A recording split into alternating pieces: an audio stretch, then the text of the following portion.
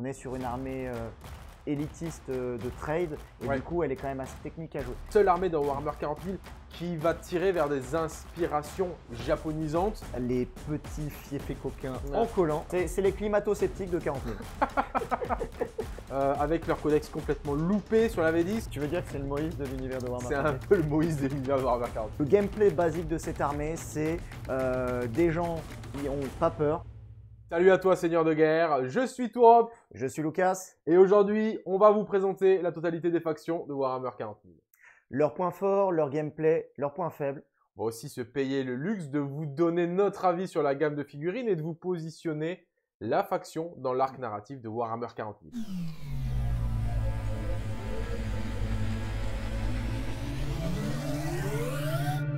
Les orques, c'est une faction de brutes sauvages. La particularité de ces orques, euh, de cette faction, c'est qu'elle n'a pas véritablement de structure à proprement parler.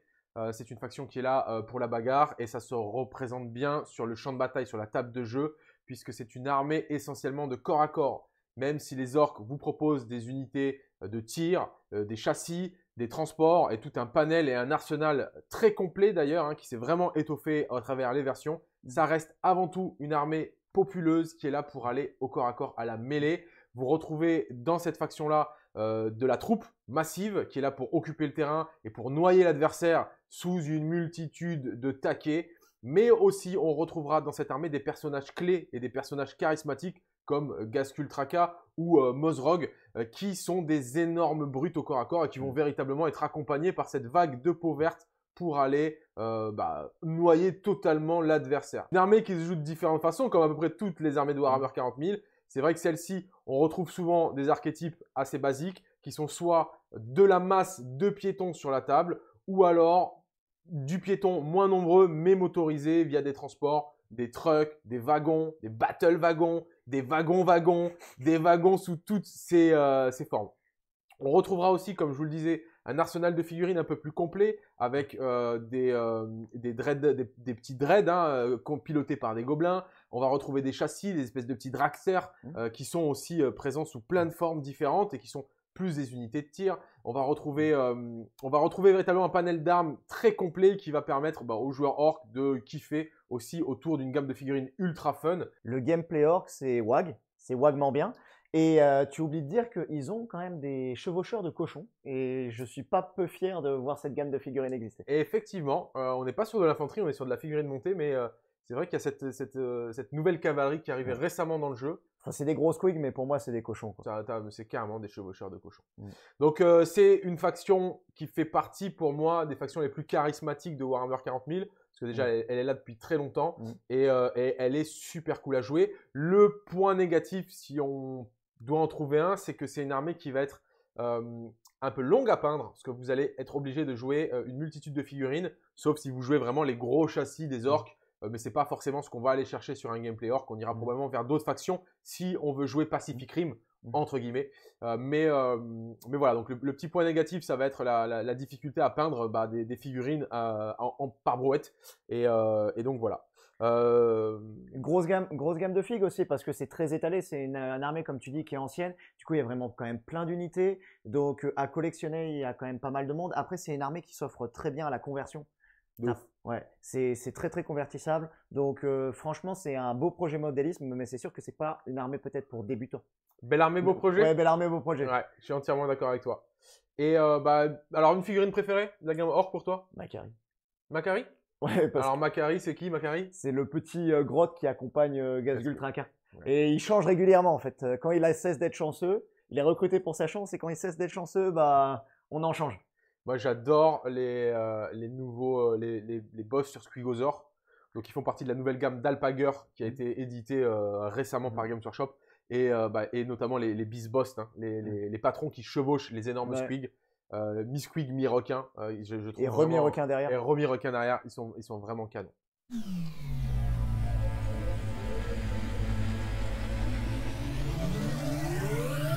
Pour l'Astra Militarum, l'Astra Militarum représente les forces spéciales de l'Imperium, enfin les forces spéciales plutôt le marteau de l'empereur. euh, c'est des régiments d'armées régulières qui sont récoltés, récoltés, dans des millions de mondes de l'Imperium. Du coup, on va pouvoir retrouver dans la gamme de figurines notamment euh, toutes les iconographies des différents mondes euh, dans lesquels peuvent être recrutées les forces de l'Astra Militarum. Et bah, bien entendu, c'est la piétaille, c'est la, la chair à canon et c'est l'artillerie, c'est vraiment les tanks. L'Astra Militarum, c'est on pense à une marée euh, de gardes impériaux et de conscrits qui, qui vont mourir pour des causes inconnues, contre des ennemis inconnus, pour l'empereur, sur des mondes qu'ils ne connaissent pas, mais avec des tanks. Souvent, le gameplay qui est mis en avant sur l'Astra Militarum au, au, fur et à mesure des versions, c'est un gameplay qui est très mécanisé, avec de l'artillerie, notamment l'Astra Militarum, c'est l'armée qui a le plus de pièces d'artillerie dans le jeu, souvent qui tire sans ligne de vue, avec toute une panelle de tanks différents. Et on voit souvent des garages à blindés qui se forment dans les listes Astra Militarum. C'est souvent accompagné avec des auxiliaires Abumain, des Ogryn, des Ratling. On a rentré euh, récemment une nouvelle gamme de, game de chevaucheurs euh, de mecs à chevaux. Tu sais pas. C'est les Attila, les euh, Attila Rough Rider. Tu sais pas pourquoi c'est le 41e millénaire, mais les mecs ils sont à cheval avec des lances, des lances explosives. Ouais, mais parce qu'il y a un moment, il y a eu une panne euh, industrielle et il a fallu se débrouiller quoi. Et ils ont Napoléon, ils ont Léontus sur son cheval, mm. sur son cheval blanc, l'épée, l'épée dressée en l'air. Et donc voilà, souvent représenté par beaucoup de blindés avec de la piétaille qui s'envoie mourir sur les objets. On est définitivement sur un gameplay qui est très polarisé où l'infanterie a pour rôle de faire le scoring et l'artillerie et les chars vont avoir le rôle de faire l'attrition. Bien souvent dans l'Astra Militarum, euh, on a des, tanks qui sont parmi les plus résistants du jeu. En général, les Lehman Russ sont assez iconiques de version en version. Le Rogaldorn qui est rentré récemment encore plus iconique. Et bien entendu, on ne peut pas parler de l'Astra Militarum sans parler de la gamme de Ben Blade qui est euh, les gros tanks super lourds. C'est une des seules armées à avoir ce genre de châssis, en fait, d'avoir vraiment des méga gros tanks qui ressemblent en fait plus, euh, si on veut, à des parpaings qu'à des vrais à des bâtiments. C'est ça, ils ressemblent à des bâtiments. Souvent, ils sont assez difficiles à manœuvrer sur la table de jeu parce qu'il y a de plus en plus de décors, mais définitivement, ce sont des pièces de choix euh, de l'Astra Militarum. c'est une armée qui noie sur le volume de tir, pas sur sa capacité à tirer, parce qu'en général, ils sont moins bons euh, pour tirer que des Space Marines par exemple ou des Eldar, mais comme ils ont plus de volume de tir et qu'ils ont des bonnes armes, ils arrivent à compenser ça au niveau de l'attrition. Tu voulais nous dire un truc peut-être sur... Euh, non, je suis entièrement d'accord avec toi. Mmh. Le... Et, tu l'as très bien dit, je le point faible un mmh. petit peu de cette faction-là, ça va être euh, bah, le fait d'avoir des véhicules et mmh. d'avoir une manœuvrabilité sur la table de jeu qui, est, qui est, souvent contrainte par les tables de jeu. Et, et, notamment, on voit très peu, on voit, on voit, on voit moins régulièrement sur les tables de jeu ces gros châssis dont mm. tu parles, Bane Blade, Shadow Sword, Storm Sword, etc. Mm. Euh, parce que bah, c'est difficile d'aller chercher des lignes de vue, de se déplacer correctement. Mm. On peut vite se retrouver avec des châssis bah, qui font pas grand chose de la partie. Donc ça, c'est vraiment un petit peu le, point négatif. Ça reste aussi une gamme qui est très très complète chez Games Workshop. Et, euh, et, les petits rajouts qu'il y a eu dernièrement, notamment avec la cavalerie et les nouveaux châssis, fait, fait, vraiment plaisir. Ouais, ils ont rajouté, alors ils ont rajouté des, sentinelles aussi, ils ont rajouté des, des plateformes d'armes lourdes. Donc les, les, nouvelles figues, elles sont vraiment quali. Euh, et puis, il y a aussi le, petit truc, euh, il y a eu un ajout aussi récemment sur les Résidorus. Tu as les Solar Auxilia, je crois, qui peuvent servir aussi à convertir la, la garde impériale, où tu as des Malcador, tu as des sentinelles blindées et tout. Donc, en fait, tu as vraiment une belle gamme de figurines chez Games Workshop et même ailleurs pour pouvoir faire une garde impériale super cool. Et tu peux aussi t'en servir pour, comme conversion pour d'autres armées parce que tu as potentiellement des gardes impériales renégates du côté chaos. Tu peux avoir des Brood Brothers côté Genesis Killer Cult. Donc euh, ça ouvre à pas mal d'armées. Ta figurine préférée de la, gamme? Euh, Alors là, c'est compliqué. Euh, c'est compliqué, vraiment compliqué. Moi, je pense. Moi, je l'ai déjà. Moi. Ouais, je pense celle que je préfère parce que malheureusement, il y a, y a beaucoup de filles qui sortent pas trop du lot. Je pense que c'est les, les, chevaucheurs d'Attila. Moi, j'ai un gros crush pour les Ogres. Ouais. J'adore. La figurine de Green, je kiffe. C'est fat, ça a des grosses masses, des gros boucliers. J'adore. Moi, j'aime bien aussi les, les sions. Voilà. C'est voilà, deux trucs cool. Les sions, les sions j'aime bien.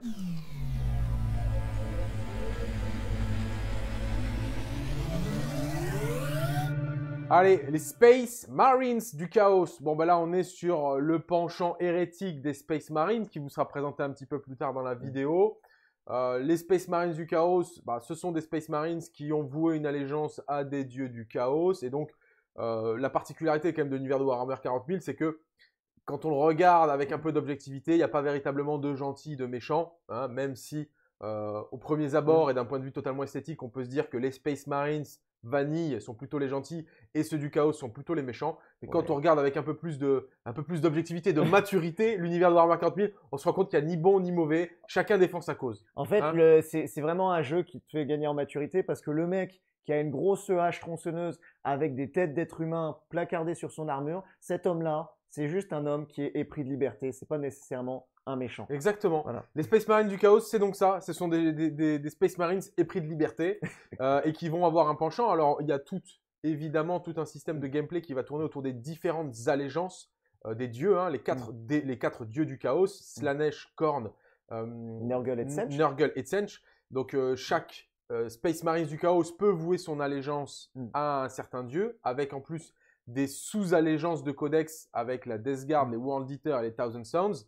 Euh, mais là, en ce qui concerne les Space Marines du Mm. Chaos, vous allez vous retrouver avec euh, ce qu'on appelle, moi je, je trouve que ce sont des, des profils assez, euh, assez classiques, avec une armée qui, un peu comme les Space Marines, va pouvoir aller jouer sur tous les terrains Mm. qu'offre le Warhammer 40 000, des unités de corps à corps, des unités de tir, des unités de tanking, il y a des, des chars, de la- de- des, unités, euh, des unités montées. Mm. On, on retrouve vraiment tout ce que le jeu va pouvoir Mm. proposer, ce qui est vraiment le cas du Codex Space Marines, et cette Mm. fois-ci avec le penchant, le penchant Space Marines du Chaos et certaines particularités. On notera véritablement aussi qu'il y a un attrait pour l'aspect, on va dire, euh, personnage nommé héroïque de l'univers Mm. de Warhammer 40 000. On va retrouver des gens comme Abaddon, on va retrouver des gens comme euh, Lucius et, euh, et- et bien d'autres, hein, Fabius Bile, etc. Donc, ce sont des personnages charismatiques que, que beaucoup, beaucoup de joueurs apprécient mettre sur la table de jeu et qui sont d'autant Mm. plus des, des figurines absolument magnifiques. Donc, le Space Marines du Chaos, moi je dirais que c'est un gameplay quand même assez, générique, un petit peu comme le Space Marines euh, classique, on va dire, avec, euh, avec véritablement euh, des points forts qui vont varier selon les versions. Là, en l'occurrence, sur les dernières versions, on a, on a vraiment vu euh, des unités telles que les Terminators ou telles que les, les Obliterators sortir très régulièrement du lot et être récurrents sur la table de jeu. On mettra une petite pièce pour les nouvelles unités, les nouvelles entrées, notamment avec euh, ces cultistes démoniaques et les, Les la, dark, la cultistes. Dark Commune Ouais. euh, qui, euh, qui aussi apportent un petit peu de, de fraîcheur. Tant- si tant est que le mot fraîcheur soit pas forcément le plus adapté pour décrire euh, la Dark Commune, mais, euh, mais voilà. Tu as aussi le rescaling des légionnaires qui font qu'ils ont vraiment une vraie dégaine de Space Marines. Moi, cette armée, je trouve qu'elle euh, elle ressemble en effet aux Space Marines, mais en- ils ont une gamme vraiment à eux avec les machines démons, tout ça. Euh, J'ai l'impression que c'est une gamme aussi complète que le Space Marines, un peu moins bien entendu. Mais euh, au niveau de modélisme, moi, j'ai l'impression. euh, les figurines, alors moi, le- parmi mes figurines préférées en Space Marines du chaos, la, la Death Guard et les Thousand Sons, je trouve qu'ils sont magnifiques. En revanche, je trouve que c'est des figurines qui, en termes de modélisme et de peinture, me semblent un peu plus compliquées C'est pas faux. Que, du. En fait, parce qu'un Marines Vanille, tu vas faire ta couche de base, ton lavis, éventuellement brossage facile. Là, tu as pas mal de petits détails sur les armures. Donc, je les trouve en termes de modélisme pour vraiment faire ressortir et péter la figurine un peu plus dur que leur pendant loyaliste. Ouais. Et je, je dirais que les Space Marines du Chaos, euh, c'est pas une armée sur laquelle on va pouvoir pointer du doigt des points forts et des points faibles de Mm. base, parce qu'elles sont assez, euh, Polyvalente. assez polyvalentes. Mhm. Exactement. Donc ça va vraiment dépendre de la version de jeu sur laquelle Mhm. vous jouez, et cette version va vous orienter vers certaines unités qui fonctionnent bien à un instant T dans, dans le jeu, et qui peut-être dans une autre version vont moins fonctionner. Ta figurine préférée? Ah bah non. Pareil. Voilà. Il n'y a pas débat. Abaddon, c'est une des plus belles figurines de la gamme Warhammer 40 000. Check, mec. Et, euh, et ce gars est, est- est absolument stylé. Il a éclaté, il a éclaté Kadia. Le Oui. mec a mené une croisade. Il a, il a ouvert la galaxie en deux, le gars. Il est, il est pas content du tout. Il est pas là, il est pas venu là pour se faire des potes. Tu veux dire que c'est le Moïse de l'univers de Warhammer C'est un 40 peu le Moïse de l'univers de Warhammer 40 000.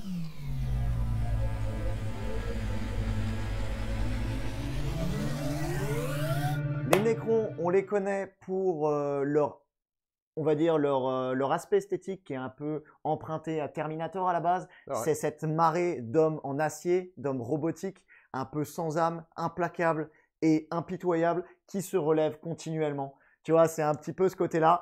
Euh, ils ont eu un fluff qui a été un petit peu pivoté vers un côté un peu pharaon Goa'uld, euh, comme on pouvait retrouver dans Stargate SG1 Ouais. euh, au fur et à mesure des versions.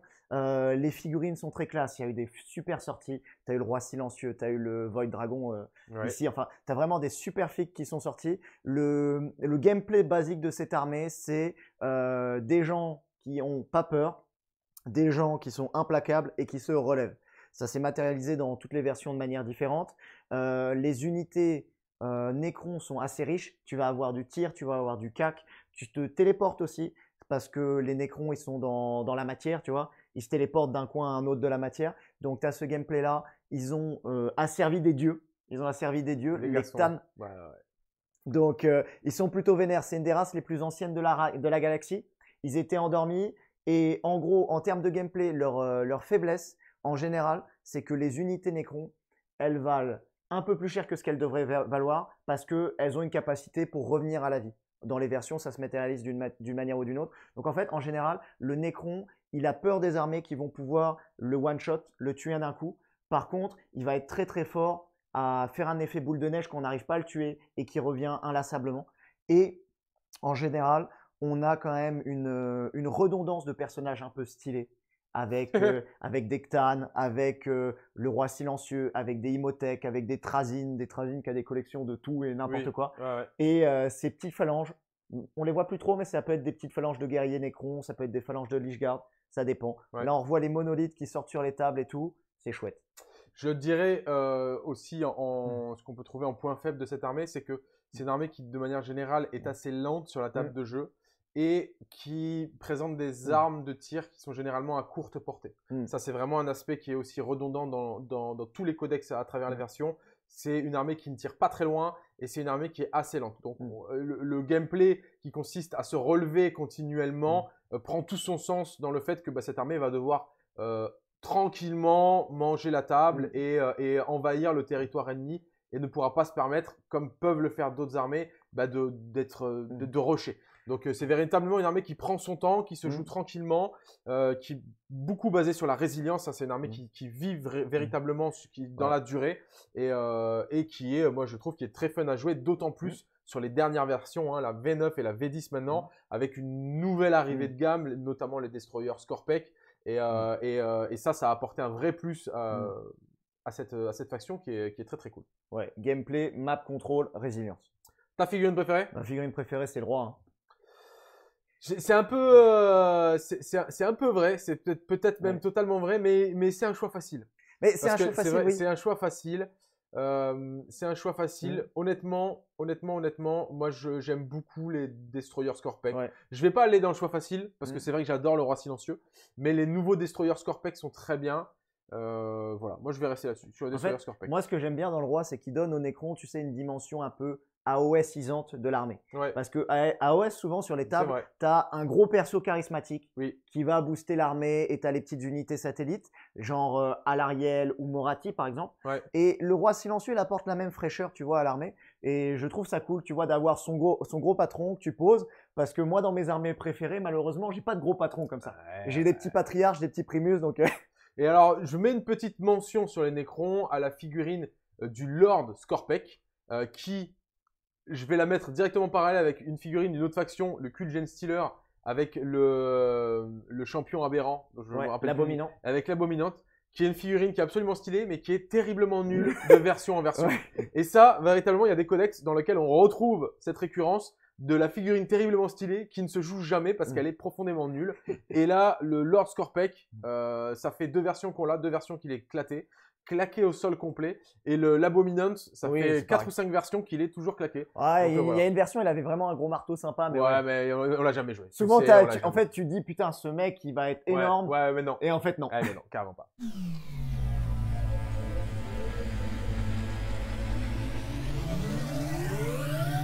Les sœurs de bataille, euh, la seule, on va dire, faction avec une grosse touche féminine, même si dans certaines factions, comme euh, bah, notamment les, les, les, les, on va retrouver aussi la jante féminine euh, eu aux égards de certaines, mm. euh, certaines unités. Hein, pas, les, Eldar sont pas tous toutes des, des filles. mais les, Sista, elles, pour le coup, les sœurs de bataille, l'Adepta Sororita, hein, c'est une mm. faction à 100% femmes. Et euh, la particularité de cette, euh, de cette faction, outre le fait qu'elle défende l'Imperium, c'est véritablement qu'elle est euh, empreinte d'une foi en, en, son empereur Dieu, et donc qu'elle se bat avec cette, on va dire, ce côté et cette discipline religieuse mm. qu'elle amène sur le champ de bataille.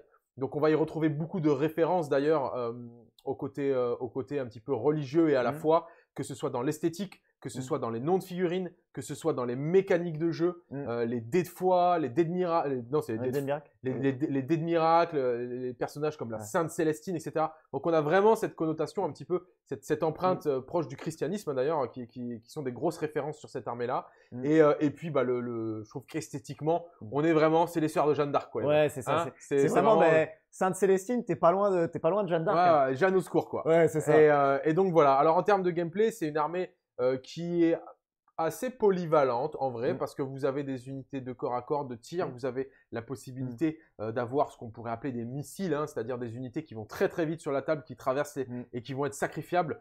Euh, donc on retrouve quand même pas mal de choses et une certaine polyvalence dans le gameplay. Ouais. On a des figurines qui sont ultra stylées, ultra charismatiques. On parlait de Sainte-Célestine, mais on va avoir Morvenval ou encore le Triomphe de Sainte-Catherine, qui, est- Ouais. qui est vraiment vraiment canon. Et euh, ça reste quand même un, Mm. un gameplay qui, euh, qui, qui est assez spécifique. Mm. Euh, et c'est, c'est, pour le coup, je trouve que c'est Mm. pas une armée pour débutants. Ouais. C'est une armée qui nécessite du doigté euh, parce que il va vous falloir jongler avec la spécificité de Mm. chaque unité. Chaque unité a sa propre utilité sur le champ de bataille. Euh, les arcoflagellants ne seront pas utilisés comme Mm. des rétributors, qui ne seront pas utilisés comme Des euh, repentirs. des repentia ou Ou des exorcistes. Mm. Et donc chaque unité a vraiment son épingle du jeu à tirer sur le gameplay. La construction de liste du coup va Mm. faire beaucoup. Et, euh, et voilà, c'est une gamme de figurines qui est véritablement belle, qui est Mm. super originale. Mm. Et, euh, et puis en plus on est sur un, on est sur un lore assez unique en son genre par rapport à l'univers. Donc, euh, donc voilà. Ouais, le gameplay, c'est vraiment euh, multiple small units, un peu glass cannon, et euh, vraiment avec cette propension à faire des dingueries avec l'esprit de sacrifice. Parce que c'est ça, en fait, le, le, truc de la sœur, c'est que elle peut te réussir quasiment tous les trucs. Tu veux, en fait, tu peux baser ta stratégie sur des actions qui sont un peu what the fuck, tu vois. Souvent, tu te dis, euh, ah mince, là, il me faudrait une charge à 12 ou 11, et en général, en sœur, on donne les outils pour pouvoir la faire. Et donc, en gros, c'est ça la sœur, c'est un gameplay MSU Glass Cannon qu'on peut- retrouver chez le Drukhari par exemple, mais avec cette fiabilisation de l'Eldar. Au sens où euh, tu peux faire des dingueries. Tu prévois que tu vas faire des dingueries et tu vas les faire. Yes. Ta fille préférée? Triomphe de Sainte-Catherine. Morvenval. Ouais, Morvenval est stylée, mais j'avoue que le Triomphe de Sainte-Catherine. Alors, je dirais le Triomphe de Sainte-Catherine véritablement parce qu'en plus de- en plus d'avoir une figurine très belle, elle est ultra originale. Le Triomphe de Mm. Sainte-Catherine, c'est véritablement, en fait, c'est une cohorte Mm. de figurines sur un même socle euh, qui transporte des reliques. Euh, et, euh, et je- véritablement, C'est c'est un peu, ouais, c'est un socle d'Ika avec Ouais, euh, ouais. six pépettes euh, qui trimballent un cercueil. Ouais, c'est, c'est- la, la figurine est super originale, vraiment Mm. magnifique, mais c'est vrai qu'il y a plein de belles figurines dans, dans la gamme, dans la gamme Adeptas Sorori.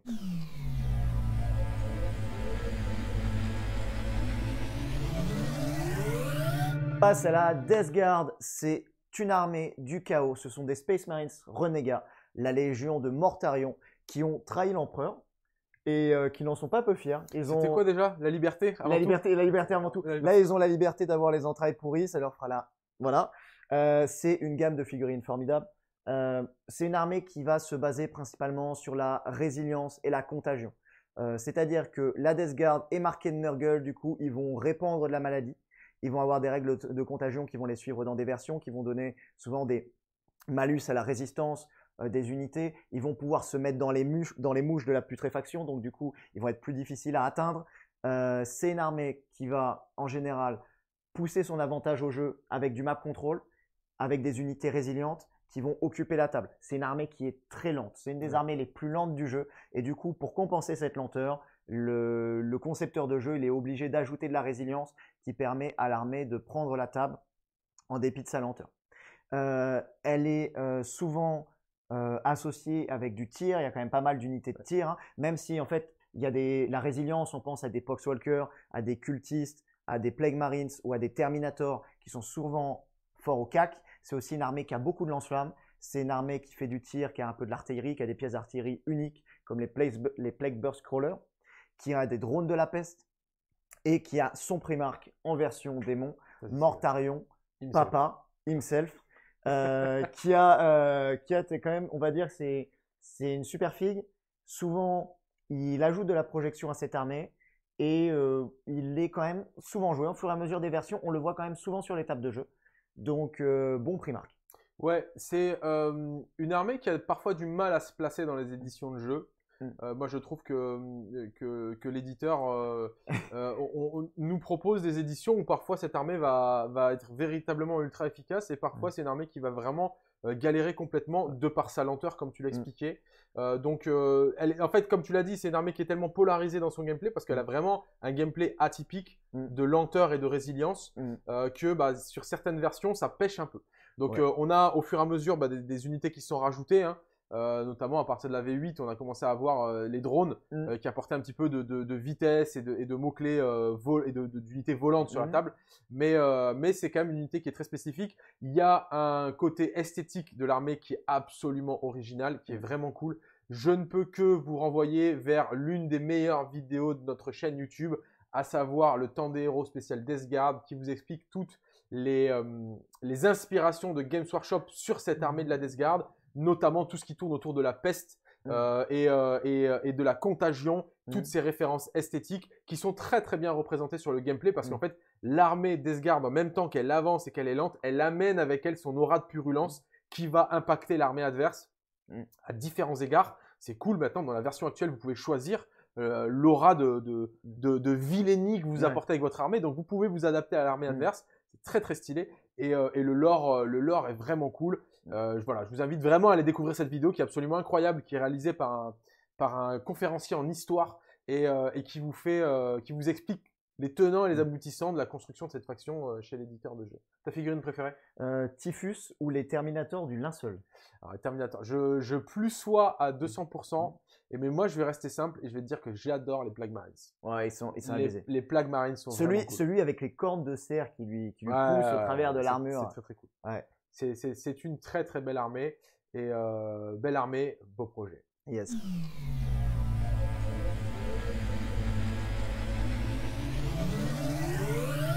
L'Empire tôt, souvent décrié, effectivement, mais, mais, mais, mais, ça reste une armée euh, qui a son style propre de jeu, qui a son graphisme propre, probablement la seule armée dans Warhammer 40 000 qui va tirer vers des inspirations japonisantes, proches du manga, mm. avec euh, un paquet de, de, battle suits sur des formats différents. Donc on est vraiment sur de l'esthétique très particulier. Euh, qu'on aime ou qu'on n'aime pas. Moi, typiquement, n'étant pas mmh. véritablement fan des univers manga, des univers japonisants, j'accroche pas avec l'arméto d'un point de vue esthétique. Ouais, tu as vraiment le côté Gundam Pacific Rim qui ressort, alors que tu as d'autres armées, genre les Drukari, où tu as un petit côté japonisant, mais plutôt pirate, un peu samouraï sur les pièces d'armure. Mais ça, c'est vrai que c'est très, très typé animé.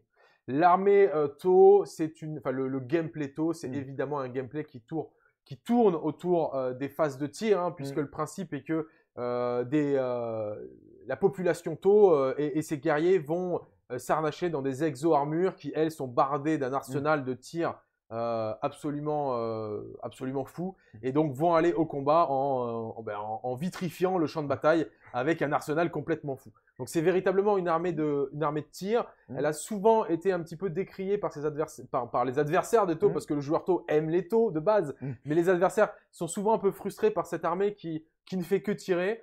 Et euh, on a un gameplay qui a évolué sur les dernières versions pour arriver à un codex qui est vraiment mature, un index actuellement qui est vraiment mature et qui propose, euh, même si ça reste une armée de tir avec un gameplay de tir, euh, on a un gameplay qui est vraiment polyvalent et qui offre aux joueurs une expérience de jeu très tricky et très intéressante. C'est pas du tout une armée pour débutants, je pense, hein, le taux. Ça nécessite de l'interaction entre unités, ça nécessite du placement, ça nécessite beaucoup de micros. et, c'est d'autant plus intéressant parce que on est sur une armée qui ne va faire de l'attrition que sur une phase, la phase de tir. On se soustrait complètement la phase de magie, on se soustrait complètement la phase de corps à corps. Donc il faut que le joueur tôt sur cette phase de tir, mm. bah, il profite un maximum de, de, tout ce qu'offre Warhammer 40 000. Mm. Je trouve que dans cette édition actuelle, on y est, on est vraiment là-dessus. Mm. Et, euh, et, voilà. Euh, le, le taux, c'est vraiment, euh, comme tu le disais, les armées monophases, elles ont des faiblesses structurelles et pour les compenser, il faut leur donner d'autres mécaniques. Ça peut être des stratagèmes, des aptitudes ou une létalité renforcée pendant la phase pendant laquelle ils vont être utiles. Euh, L'auto, en effet, c'est aussi une armée de mouvement avant tout. L'auto, c'est une armée où quasiment tout vole. Tout vole, tout bouge vite. Il y a des transports qui volent, qui bougent vite. Il y a les exo-armures, la plupart des exo-armures volent, bougent vite. Donc, il y a du mouvement, il y a du tir, il y a de la résilience aussi. C'est une armée qui a en général des bons mécaniques de tanking qui sont parfois frustrants. On se rappelle des drones dans les, des éditions 8 euh, et 9 qui ont extrêmement frustré la communauté des joueurs. Et euh, c'est une armée qui doit travailler concert. Le taux, c'est euh, vraiment ça c'est la, philosophie de l'armée. Ils actent tous, ils œuvrent tous pour le bien suprême. Et du coup, ils doivent agir de concert pour que les unités, les unités soient efficaces. Souvent, euh, la mécanique de base, c'est la désignation laser. C'est-à-dire que les unités, en fait, ils ont les meilleures armes de la galaxie, sauf qu'ils ne savent pas tirer. En gros, ils sont tous myopes. donc, ils ont besoin de se mettre à plusieurs avec de la désignation laser pour être efficaces au tir. Et donc ça, c'est un gameplay vraiment où il faut utiliser toutes ces unités euh, de concert pour pouvoir maximiser la létalité au tir. Yes, ta figurine préférée dans la gamme? La Riptide. Ouais. Ou, Non, attends, non, non, je suis, je suis, je suis un dingue, je suis un dingue. Farsight, Farsight. Farsight. Le nouveau Farsight, j'ai oublié. Ouais, 100%. Farsight, euh, vraiment très, très, très, très belle figurine. Alors, c'est euh, mmh. c'est les battle suits hein, qui donnent vraiment du caractère à cette armée, même si on aime toute la panoplie de mmh. fantassins. Euh, qui donne un côté aussi un petit peu euh, invader à cette mm. armée avec bah, les, mm. les, guerriers feu, les breachers, etc. Mm. Euh, ça reste quand même une armée qui tourne autour des battle suits, donc c'est ces fameuses exo-armures. Et, et, et on, on, ne voit pas d'armée tôt sans exo-armure généralement, ou du moins c'est très rare.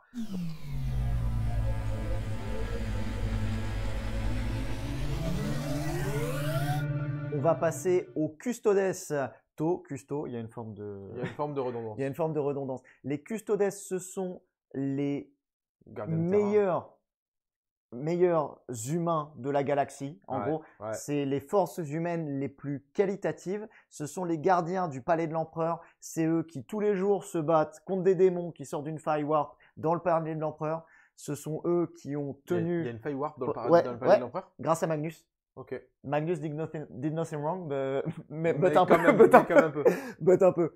Euh, c'est eux qui se sont battus pendant des années dans la guerre dans la toile au milieu de la, de, du palais de l'empereur pendant l'hérésie. Donc c'est vraiment euh, le parangon de ce que l'humanité peut faire en tant que guerrier ultime. C'est une armée extrêmement élitiste. Elle est assez facile à modéliser et à collectionner parce que la gamme de figurines ne demande que de réunir qu'une trentaine de figurines au maximum en général pour faire une armée. Euh, les kits sont plutôt euh, facilement accessibles. Les schémas de peinture qu'on peut utiliser, même si on peut faire des super custos avec des schémas de peinture euh, très poussés, on peut avec seulement une bombe de sous-couche dorée et des lavis avoir déjà des super rendus. Donc le custo c'est plutôt une bonne armée à collectionner. Il y a pas mal de joueurs qui l'ont parce qu'elle est pas chère, elle est facile à faire, elle est souvent bonne compétitivement. C'est une armée de map control et de résilience. Les custodes, c'est principalement des armées de corps à corps. C'est-à-dire qu'au tir, ils ont des, sortes de bolters sur leurs lances et sur leurs épées, mais qui ne vont pas faire des gros dégâts. Donc principalement, en général, le custodes, il est là pour faire du corps à corps. Il est là pour faire du map control, il va se projeter sur la table, il va prendre les objectifs, il va mieux les contrôler que les autres armées. Et quand on va venir le chercher au corps à corps, il va te mettre des mandales et ça va mal se passer. Et si tu n'arrives pas à le tuer au corps à corps ou au tir, il va finir chez toi et ça va être compliqué. C'est une armée de map control, de corps à corps et de débordement. Par contre, c'est une armée qui souvent va être très fragile parce qu'il se base souvent en mécanique de tanking sur de la 4 plus 1 vue. Et bah, on connaît la variance de cette, euh, euh, de cette invulnérable dans le jeu. C'est-à-dire qu'on peut très bien la réussir ou très bien la rater. Et parfois, le, taux, le custo peut s'effondrer si on a des mauvais GD. Donc, il peut y avoir un peu de frustration. C'est souvent une armée à skill parce que les armées de CAC sont des armées à skill, mais c'est une armée qui est permissive parce que on peut quand même, on a une capacité à tanker. Je vais mettre une petite objection sur le contexte armée à skill mmh. parce que c'est une armée qu'on peut masteriser évidemment, mmh. Mmh. Euh, mais pour moi, le l'armée custodex, custodes, pardon, c'est véritablement la meilleure armée pour entrer dans le jeu. Là où, comme on vous disait tout à l'heure, il y a certaines armées qui ne sont pas faites pour les débutants. Le custodes, aux égards de ce que tu as dit, c'est facile à mm. collectionner, c'est facile à peindre et en plus, c'est facile à jouer. C'est permissif dans le jeu. C'est très très permissif dans le jeu. Même si bah, ça se masterise très bien mm. euh, pour ceux qui veulent bah, pousser un petit peu mm. le jeu, l'optimiser, voire aller en compétitif, ça se fait très bien. Mais si vous voulez rentrer dans le jeu, c'est une armée qui se prend facilement en main du fait du peu d'unités et, euh, euh, et, des mécaniques assez basiques malgré tout de, cette armée. Donc c'est vraiment une belle armée pour rentrer dans le jeu. C'est l'armée d'Henri Cavill accessoirement, ce qui lui donne un petit, un petit plus. Et, euh, et, ça, ça mange pas de pain. Euh, fanboy là. Le, bon fanboy de bon base. Fanboy. Le bon fanboy de base. Ta figurine préférée? Euh, Valérian.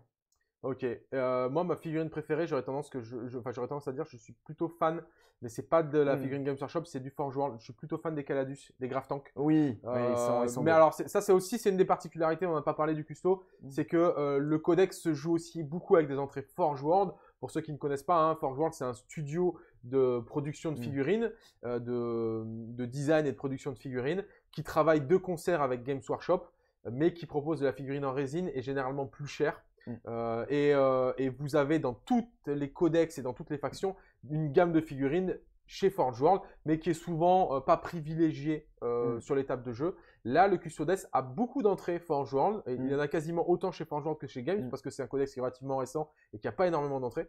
Et en fait, on peut très facilement aller chercher des entrées chez Forge World, et il y a notamment ce char Caladus que moi je trouve vraiment sexy euh, et assez, assez original.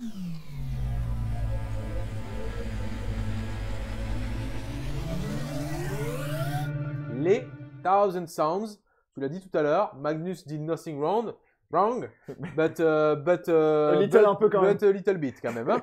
Euh, donc bah, les Thousand Sounds, c'est un penchant euh, chaotique des Space Marines. Eux, c'est ceux qui sont affiliés euh, à Tsench, au dieu, au dieu de la malice et de la magie. Donc c'est une armée qui va beaucoup se reposer sur la magie. Tout comme la Death Guard, ils ont le plaisir d'avoir bah, matérialisé Mm. leur propre pr- primarque, Mm. à savoir Magnus. Donc vous avez cette figurine incroyable qui est Magnus et qui est très souvent jouée d'ailleurs parce que c'est- de version en version, c'est une figurine qui est généralement très très bonne à jouer. Mm. Donc, euh, donc voilà, c'est une, c'est une armée un petit peu euh, euh, comme les Custodes qui a pas énormément d'entrées, Mm. même si le fait que ça soit du Space Marines du Chaos, on va pouvoir aller chercher des entrées, on va dire un petit peu vanille, comme bah, des, des, des châssis Mm. qu'on retrouve chez les Space Marines Oui, du les Chaos, Predators, les Predators, etc., etc. Il reste que les unités spécifiques au Thousand Sun, il n'y en a pas des, il y en a pas des dizaines. hein. Mm. Euh, je pense qu'on est en dessous de la dizaine d'ailleurs. On retrouve Ouais. Magnus, les sorciers, les, euh, les Oui. rubriques, Les Terminators. les et Terminators et les Tsangor. Mm. Voilà. Donc on, fait, on fait quand même vite le tour. Euh, ça les reste Mutalites, Mutalites Vortex. les Mutalites Vortex, qui, est, qui est plutôt stylé d'ailleurs, figurine. En termes de gameplay, c'est véritablement une armée qui va tourner autour de la magie. C'est son point fort, c'est sa capacité à dominer cette phase de magie. Et donc, on retrouvera très régulièrement une armée avec une multitude de, de magiciens, donc des Mm. psychers à Warhammer 40 000, qui vont être capables, eh bien, soit de booster euh, ses propres unités, soit de débuffer l'armée adverse, ou alors euh, bah, de, euh, d'envoyer de la létalité et de l'attrition euh, via bah, des pouvoirs magiques qui vont générer des blessures mortelles et tout un paquet d'outils que va proposer l'édition hein, selon à, à quelle version vous jouez. Donc c'est une armée qui propose euh, véritablement de, ma- de matrixer la phase de Mm. magie avec des outils euh, techniques et tactiques qui sont intéressants. C'est une armée qui généralement n'est pas très facile à jouer euh, parce que euh, vous allez mixer la magie, le mouvement, le tir, le corps à corps. Mm. Cette armée fait, un- fait bien de tout euh, généralement avec une grosse composante Space Marines, donc ça reste du, euh, du body, hein, du- du- de la figurine assez élitiste quand même, qui a, Mm. qui est pas donné en termes de prix, surtout quand on va chercher des rubriques Marines et des Terminators. Mm. Euh, donc euh, donc euh, c'est une, c'est une armée qui est, qui est tout à Mm. fait plaisante. Esthétiquement, elle est stylée. On a, on a véritablement une orientation, on va dire, égyptienne Ouais. dans, dans sa conception. Et alors il faut savoir qu'il n'y a pas, il n'y a pas d'humain dans les, dans les armures des Thousand Sons. Ils ne sont que poussière. Ouais. Donc euh, il n'y a plus de chair hein, dans, dans ces armures-là. Elles, elles, sont, elles sont guidées par, euh, elles sont guidées par, euh, par un esprit magique. Mm. Et, euh, et ça donne un côté un petit peu euh, de, de- de référence à Mm. toute, euh, à toute cette mythologie égyptienne Mm. autour euh, des pharaons, euh, de la momie, etc., etc. On retrouve vraiment toute, toute, cette, toute cette affiliation, si je peux dire. Euh, voilà. En termes, en termes de points faibles, euh, en termes de points forts, je pense que ça reste quand même une armée qui est dans le canevas un petit peu Marines et donc polyvalente, euh, Ouais. qui est capable un petit peu de tout faire. Moi, je pense que le TS, c'est avant tout une armée de dégâts. J'ai l'impression que les unités TS, souvent, elles sont polar- polarisées pour faire des dégâts, pour faire du dommage à l'adversaire. Elle est élitiste, comme tu le disais. Ils ont des mécaniques de tanking qui sont intéressants, qui viennent souvent du lore avec euh, la règle tout n'est que pour tir. Comme c'est des sorciers, en général, ils ont de l'invulnérable aussi. En fonction des versions, ils ont toujours un petit peu d'invulnérable. Donc, c'est toujours appréciable sur un châssis de Space Marines d'avoir ça. Et euh, souvent, ce qui fait leur caractéristique, c'est qu'ils vont euh, être capables de faire une grande quantité de dégâts, ce qui va compenser leur côté élitiste. Après, c'est des Space Marines, du coup, en termes de mobilité, ils ont une mobilité qui est celle d'un Space Marines, même s'ils peuvent faire des, des tricks de téléportation, de mouvements euh, supplémentaires en général. Mais moi, c'est vrai que ce, que ce que je retiens de ce gameplay, de cette armée, c'est principalement les dégâts. Et le côté un peu chirurgical qu'ils vont pouvoir avoir avec leurs petites unités qui sont spécialisées pour pouvoir faire ça. Magnus, certains sorciers qui vont vraiment Ah ouais. être en mesure de faire euh, une quantité de, une quantité de, de blessures, de dégâts à l'adversaire assez colossale quand c'est bien synergisé. Quelle est ta figurine préférée dans cette gamme? Alors ma figurine préférée, euh, c'est compliqué. Je pense que le, je pense que Harryman sur disque. Harryman sur, Harryman sur disque, ou Ouais. les, les- en fait tout ce qui est euh, sorcier sur disque, les exaltés sur Ouais. disque, je les trouve très beaux parce que c'est des figurines qui, qui, qui incarnent l'identité du Thousand Sun avec ce côté égyptien, tout ça, Ouais. tout en ayant une portée qui est euh, très très peu présente dans le jeu avec euh, le côté monté sur un disque, c'est plutôt chouette. Je- moi, j'ai une affection particulière pour les Terminator euh, occultes, les Ouais. scarabs. Mais si je devais donner ma figurine préférée, je pense que ça serait les Tsangor Enlighted, Mm. qui pour le coup sont jouables sur Age of Sigma aussi. d'ailleurs. Ouais. J'adore, j'adore euh, l'esthétique, j'adore la figurine. Euh, bah, D'ailleurs, on, y retrouve aussi cet Mm. aspect monté euh, Ouais. sur disque qui est plutôt cool.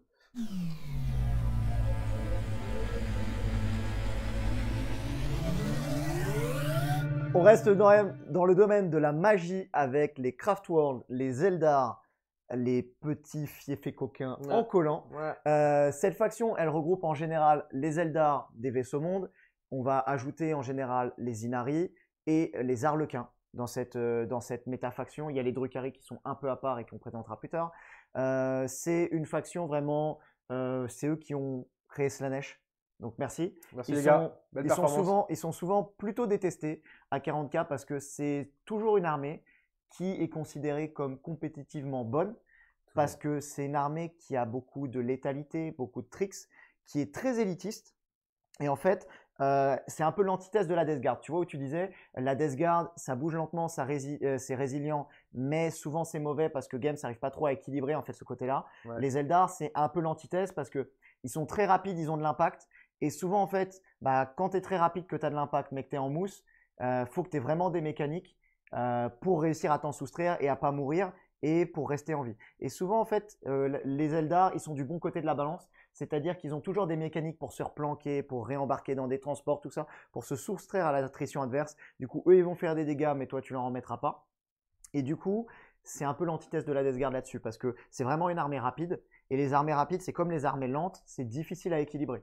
Parce que, en fait, cet avantage que tu leur donnes sur le mouvement, parce que 40K, c'est un jeu de mouvement avant tout, parce que si tu ne te positionnes pas sur la table pour scorer des points, bah, tu vas pas gagner.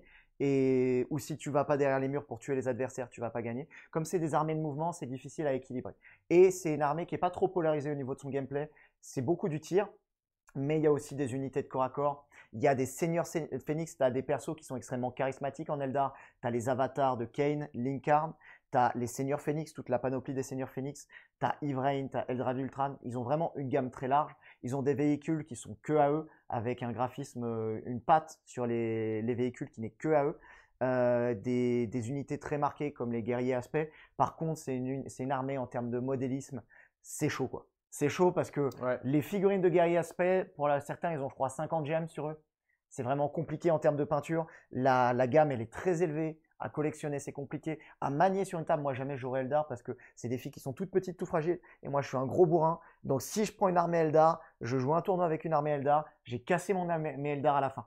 Euh, déjà, c'est trop méticuleux pour moi à peindre. Donc, je pense que c'est une armée pour personnes qui aiment déjà euh, se faire insulter, parce que quand tu joues Eldar, tu te fais souvent insulter autour de la table de jeu, et euh, pour personnes qui sont plutôt méticuleuses, qui sont expérimentées dans le modélisme, Ouais. et qui ont du temps, parce que c'est quand même des projets modélisme, des projets hobby qui sont longs, c'est des projets au long cours, parce qu'il y a beaucoup d'unités, il y a pas mal d'unités Forge World aussi, donc en termes de collection, moi je trouve euh, que c'est un, un projet qui est complexe.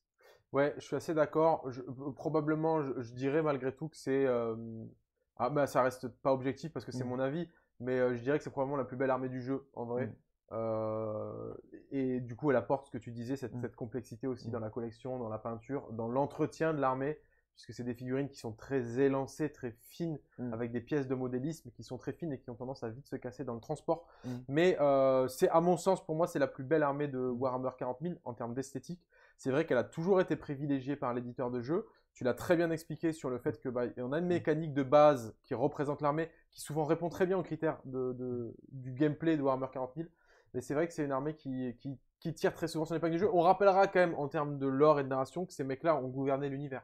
Oui, Donc euh, on retrouve ça aussi. euh, on retrouve cet aspect euh, de force sur la table de jeu. C'est des mecs quand même, ils ont, ils ont régenté l'univers connu. Mm. Donc les mecs sont pas non plus là Mm. pour faire de la figuration. Quoi. Ouais. Euh, donc, euh, donc voilà. Je, en, en- en termes de, en termes de points faibles, difficile. Alors tu l'as, tu l'as dit en vérité, ça reste quand même souvent des unités qui ne sont pas très résistantes. Euh, c'est souvent des endurances basses. Mauvais save. des saves, à- des saves assez basses. Mm. Donc c'est des unités qui meurent sur la table de jeu. Mais en contrepartie, l'éditeur donne aussi certains outils pour que ces armées-là se, puissent se prémunir des coups adverses. Donc, donc voilà. C'est, ça reste une armée quand même qui est, qui est pas évidente à masteriser, même si euh, elle est forte. Euh, le joueur qui joue Eldar, Mm. euh, je pense que là, et là pour le coup, je fais la comparatif avec le Custodes. Mm. Le Custodes est fort, mais euh, un joueur débutant peut prendre en main le Custodes Oui. et faire du résultat. L'erreur, l'erreur est admise. L'erreur est admise. En Eldar, l'armée, l'armée est forte, mais il va falloir vite la masteriser parce que euh, elle, elle est pas, elle est pas, elle est pas prise en main. C'est pas Mm. clé en main. C'est pas une Ouais. armée qui est clé en main. Ouais, les Eldar, en fait, les, les sous-parties Eldar, les Craftworld, les Drukhari, les Arlequins et euh, les, les. Mince. Les. euh, J'ai un trou. T'as tout dit? Non, Les Inari? Les Inari, ouais. Ces, ces quatre sous-factions, en général, il y en a toujours une qui est très bonne dans le jeu compétitif, mais c'est vrai qu'il faut être un très bon joueur pour arriver à faire des résultats avec. Figurine préférée? L'avatar de Kane. Moi, je dirais les Banshees. Je trouve que les, les nouvelles Ouais. Banshees sont vraiment, vraiment. Toi, tu prends vraiment le, le choix, le choix facile. Toi, t'aimes bien la grosse figue. Ouais, moi Hein j'aime bien la grosse fille, mais c'est le joueur, le joueur un peu tyrannique qui parle. Et aussi la frustration, parce que tu vois, c'est mon côté joueur GSC. J'ai pas de grosse fille belle, tu vois. Ouais, j'entends. Moi, J'entends. dans ma J'entends gamme- l'argument. Ouais, c'est ça. C'est j'ai- j'aime bien quand dans les armées, les gens ils peuvent jouer une grosse figue, un gros papa, tu vois, qui que tu peux mettre euh, au milieu de la table et qui va faire peur. C'est vrai que l'avatar est très très beau. Moi, je mets du coup, euh, je mets ma pièce sur les Banshees qui ont été aussi euh, euh, bah, euh, euh, refaits hein, euh, sur la, version précédente en V9 et, euh, et elles sont véritablement magnifiques.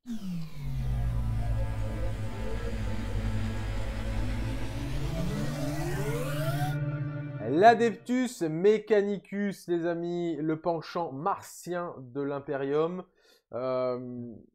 Alors, esthétiquement, c'est une armée qui est très originale. Autant il y a des, des armées, bah, on, va parler, on peut parler des Space Marines ou, ou de plein d'autres armées euh, qui ont quand même un- une inspiration générique en termes, euh, en, en termes de, de- de- de- d'imaginaire commun Mhm. dans la science-fiction. Euh, autant l'Adeptus Mechanicus fait partie de ces factions qui sont véritablement des, des conceptions made in Games Workshop Ouais. avec une esthétique et avec une Mm. identité que vous ne retrouverez nulle part ailleurs. Euh, en plus, elles sont amenées avec un côté lore et, et un, et un côté euh, narratif qui est bien représenté et qui est véritablement euh, original. hein. Ce sont, euh, ils- sont, euh, ils sont euh, asservis, on va dire, au dieu de la machine et ils vouent un culte véritablement à la machine. Euh, donc, il n'y a, plus véritablement de- d'être humain derrière tout ça. Mm. On n'est plus sur du robot. Euh, on n'est pas euh, à, à la Ouais. proximité de l'intelligence artificielle qui pourrait plus s'apparenter à ce que font les nécrons. Mais euh, là, le- le- l'Adeptus Mechanicus, euh, ils ont véritablement voué un culte à la machine. Et, et donc, euh, et donc, ils vont se dépareiller de la chair humaine euh, pour euh, amener sur le champ de bataille un arsenal mécanisé Mm. euh, via bah, des fantassins qui sont mi-cyborg, mi-humain, et puis bah, des machines de guerre aussi qui sont bah, complètement, euh, complètement insane, comme euh, le Dune Crawler Mm. ou encore les, euh, les, les Dragoons, Ouais, les, euh, Sidonian Dragoon. les Sidonian autres. Dragoon. Alors, le, le gameplay, le gameplay de, de cette faction-là est, est assez atypique, en vérité, Mm. parce que comme on a une multitude d'unités qui commence d'ailleurs, la gamme commence à être vraiment très complète. hein. Mm. On a une gamme qui, euh, qui est très étoffée euh, et euh, on a des unités qui sont très spécifiques. Euh, on retrouve des unités comme euh, les Breachers Catafron, qui sont véritablement des, bah, des petits gars sur euh, des, des mini-tanks, hein, des, des gars sur roulette Mm. qui tirent fort. On va retrouver des unités comme les, les infiltrators euh, Sicarian, qui pour le coup sont très fragiles, mais qui sont très rapides et très Mm. violents en close. On va retrouver des unités comme les robots Castellan, qui pour le coup sont des gros Mm. plots de tir. Mm. On retrouve vraiment un petit peu ce que tu disais chez le Thousand Son avec des unités qui sont très spécifiques Mm. et qui vont amener Mm. leur gameplay propre pour Mm. chaque unité. Et, euh, et du coup, bah, on, on a une certaine polyvalence dans le choix Mm. de l'arsenal qui nous est proposé, mais pourtant, euh, il va devo- on va devoir orienter et polariser nous-mêmes notre gameplay Mm. par rapport au choix qu'on va faire. Euh, Il y a des très très belles figurines dans cette gamme-là. Il y a des trucs très stylés, notamment les, les aéronefs. hein Ouais, les avions là. pour- les, les avions qui sont très très cool. Voilà, c'est une armée qui est peu jouée, je trouve, parce que c'est une armée qui, qui est relativement récente dans le jeu, qui a un gameplay qui est très spécifique, Mm. euh, pas, pas abordable pour tous. Et, euh, et c'est une faction qui, euh, qui nécessite du doigté aussi à prendre en Mm. main, de, du fait que pour construire sa liste, il va falloir bien maîtriser, on va dire, tous les, Mm. les atouts que va proposer le codex, les stratagèmes et, et toutes les ressources complémentaires pour pouvoir aller chercher la bonne unité et véritablement en faire une arme de destruction sur le champ de bataille et la, bah, la- en, en tirer euh, maximum de maximum d'intérêt. Souvent, ouais, les- il y a, il y a une petite, euh, en termes de- d'iconographie ou d'inspiration pour les figurines, il y a une petite influence euh, steampunk, aussi une petite Grave. influence euh, Léonard de Vinci, tu vois, avec euh, ces machines qui, avaient des, qui ressemblaient à des choses de la nature, notamment on le voit sur les aéronefs, qui ressemblent un petit peu à des, qui s'inspirent de, de- d'oiseaux ou d'insectes, tu vois, qui sont un mix un petit peu entre ça. Donc il y a ce petit côté-là qui est plutôt appréciable. Euh, au niveau des figurines, au niveau de l'armée, c'est vrai que c'est une armée aussi, bah, pareil, des figues assez fines, tout ça, assez complexe à Oui, peindre. ouais. Euh, on est vraiment sur l'asservissement de, de l'humain. On est vraiment sur des mecs euh, qui comprennent pas toujours euh, comment fonctionnent les machines, mais qui les révèrent comme si c'était euh, du sacré. Et le gameplay est souvent plutôt technique sur, cette, sur cette armée au fur et à mesure des versions. Moi, si je devais donner des figurines, mes figurines préférées dedans, c'est vraiment c'est les avions. Les avions, ils sont moi, je mettrais une pièce probablement sur les, les Sicariens. les Sicariens? Ouais, les Sicariens, je trouve Mm. qu'ils ont un côté très très cool. Donc les Sicariens, ce sont des unités euh, de corps à corps, même si elles ont quelques armes, notamment ces espèces de blasters à fléchettes, etc. Ouais. C'est des unités qui vont vite, euh, qui sont assez élancées et, euh, et qui ont un, un- un- un- un aspect très agressif, je trouve, Mm. qui, est, qui est assez original. Moi, j'aime beaucoup les Sicariens.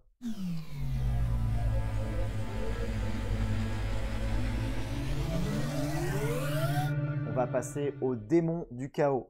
Les démons du chaos, c'est la manifestation des fantasmes négatifs des habitants de l'univers qui sortent de l'immatérium pour se déchaîner comme la misère sur le pauvre monde. Vrai. On les vous retrouve sur les quatre allégeances précédemment citées, donc Korn, Nurgle, Tsench et Slanesh.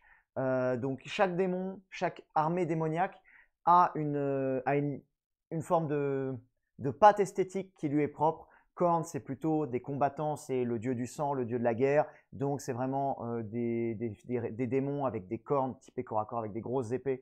Euh, Nurgle, c'est le dieu de la maladie, de la résilience. Donc on va avoir des porte-pestes, des Nurglings, des grands immondes, des choses qui sont résistantes, qui bougent plutôt lentement et qui font pas nécessairement toujours de dégâts, mais qui vont plutôt tanker. Euh, Slanesh, c'est le dieu euh, du plaisir, de, un peu de l'assouvissement, du désir, tout ça.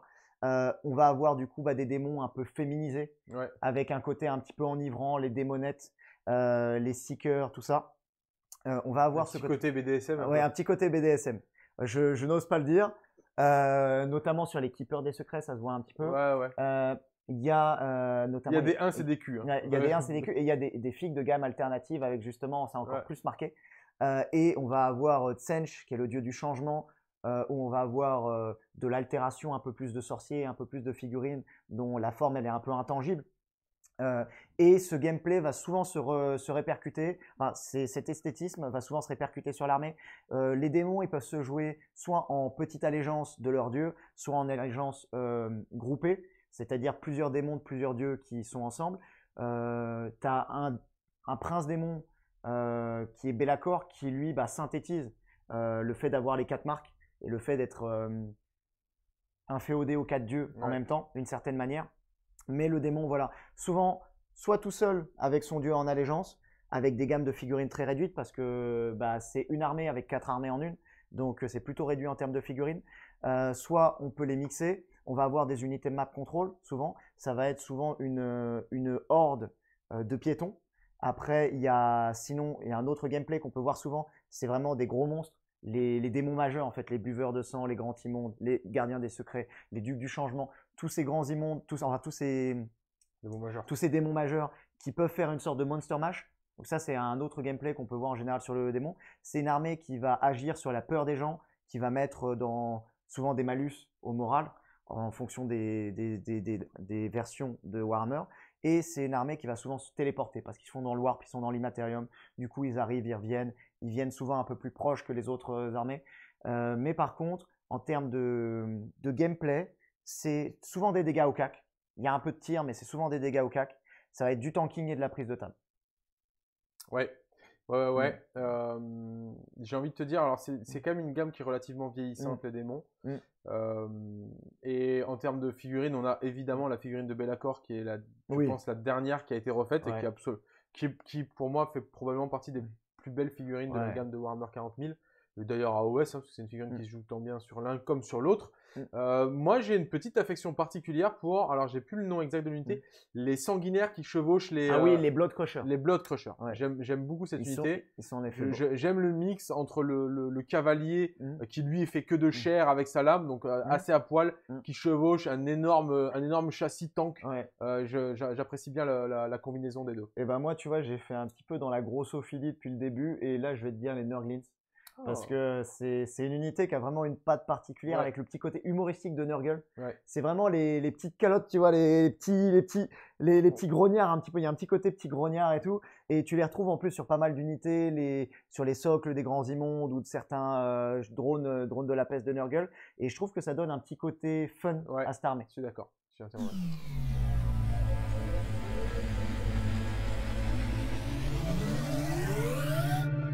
Les Grey Knights, aussi connus sous le nom de Chevaliers Gris, euh, les amis. Alors les GK, c'est euh, le l'attrait magique de, du jeu, mais avec son penchant impérial. Euh, donc ce sont les Space Marines qui ont, qui ont décidé de maîtriser toute la partie psychique du jeu et qui vont le mettre en œuvre sur table. Alors à la base, c'est plutôt des chasseurs d'hérétiques mm. et, et, notamment ils sont là pour, pour purger euh, toutes les races, qu'elles soient xénos ou chaotiques, qui viennent euh, apporter de la magie maléfique dans, dans l'univers de 40K. Donc ce sont plutôt à la base des chasseurs, c'est une armée qui est là pour venir chasser euh, bah, des armées comme les Thousand Sons, les démons, hein. ils, ont, ils, mm. ils, vouent véritablement une haine profonde à tout l'attrait démoniaque de, du jeu. Et, et ce sont des, des, des, chasseurs de Xénos, des chasseurs d'hérétiques, des chasseurs de magiciens qui viennent rappeler quelques fondamentaux de l'Imperium à leurs ennemis. Alors c'est une armée qui est euh, régulièrement euh, et qui est d'ailleurs c'est une armée qui est plutôt élitiste en vrai mm. parce qu'on y retrouve des bodies essentiellement de Space Marines donc du, Space Marines de base, hein, avec de l'endurance 4, 2 PV et une save à 3, qui est maintenant d'ailleurs plutôt passer à 2. Mais c'est du, du, Space Marines, avec des équipements souvent particuliers, et surtout, on nous propose quelques unités charismatiques. Alors, on a du Terminator, mais qu'on retrouve un petit peu partout chez les Space Marines, mais surtout, on va avoir deux unités vraiment atypiques dans cette armée. Ça va être les Paladins, donc c'est du Terminator amélioré. On est un peu à cheval entre le Terminator Space Marines et le Custodes, hein, le Paladin. Mm. Euh, on n'est pas sur le parangon de l'Imperium, mais on est un peu au-dessus du, Terminator Lambda, donc on se, retrouve à cheval. Donc euh, voilà pour, euh, pour cette unité-là qui est, qui est esthétiquement qui est très très cool. Et on va retrouver donc là probablement la figurine la plus charismatique de cette gamme, ça va être la Dread Knight Nemesis. Mm. Donc c'est ni plus ni moins qu'un Terminator Grey Knight qui euh, endosse la responsabilité de piloter une exo-armure euh, qui est un marcheur, hein, donc c'est une armure marcheur, qui nous fait un petit peu penser d'ailleurs aux au marcheurs dans Avatar, euh, bien que les Dreadnought aussi peuvent, peuvent, un peu nous inspirer ça. Mais, mais on est donc sur un, on l'appelle régulièrement le porte-bébé, hein, parce qu'on on dirait en fait que l'armure l'armure Terminator est un bébé dans, dans, une énorme, dans une énorme armure mm. blindée. Et, et, ces armures blindées là donc sont les Dread Knight Nemesis qui vont proposer généralement une très forte polyvalence sur le jeu parce que ce mm. sont des figurines qui sont résilientes avec de l'invulnérable, de la grosse endurance, de la grosse sauvegarde. Ce sont des figurines qui tapent fort parce qu'elles ont accès à des énormes épées ou des énormes marteaux. Donc généralement quand ça arrive au corps à corps, ça met des mines. Et en plus, ça a un bel équipement de tir. Ça peut avoir euh, souvent euh, les armes spécifiques des, GK, hein, qui sont euh, l'incinérateur, le psycanon ou, le, ou la, la, Gatling, ouais, le silencer. Euh, et, donc, on, peut équiper un petit peu comme on veut notre, notre Dread Knight Nemesis. Donc, euh, c'est un gameplay qui est, euh, qui est assez polarisé, encore une fois, et qui est véritablement changeant selon les éditions. on a connu des éditions de jeu où le principe de l'armée GK était d'envoyer de la blessure mortelle à foison via des sorts et des pouvoirs magiques. sur la version actuelle la V10, on a un gameplay qui n'a vraiment rien à voir. On se retrouve avec une armée qui a la capacité euh, d'utiliser, alors pas véritablement sa magie, mais d'utiliser ses aptitudes pour aller un petit peu partout sur la carte et on va dire déborder l'adversaire en, euh, l'obligeant à se poser toujours les questions de où est-ce que le GK va se positionner, il va partir, il va revenir. Donc c'est vraiment un jeu de téléportation sur la V10 actuellement.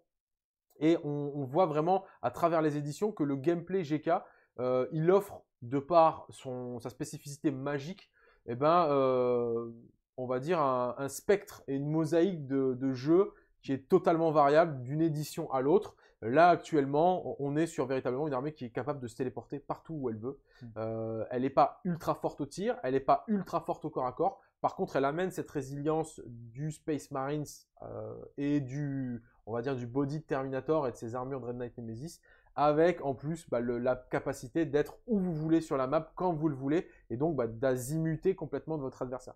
C'est une armée qui nécessite du doigté.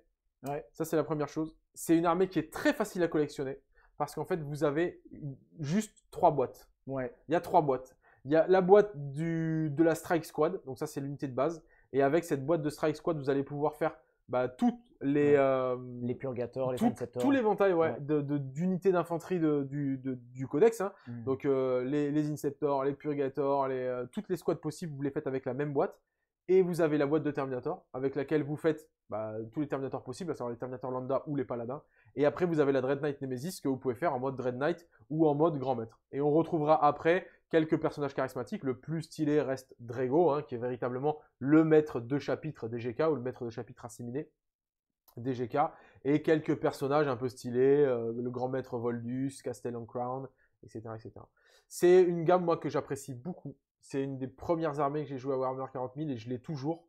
Euh, la gamme vieillit très très bien. Je trouve que l'armée vieillit très très bien. C'est probablement une des armées les plus vieilles du jeu en termes d'esthétique et de figurines.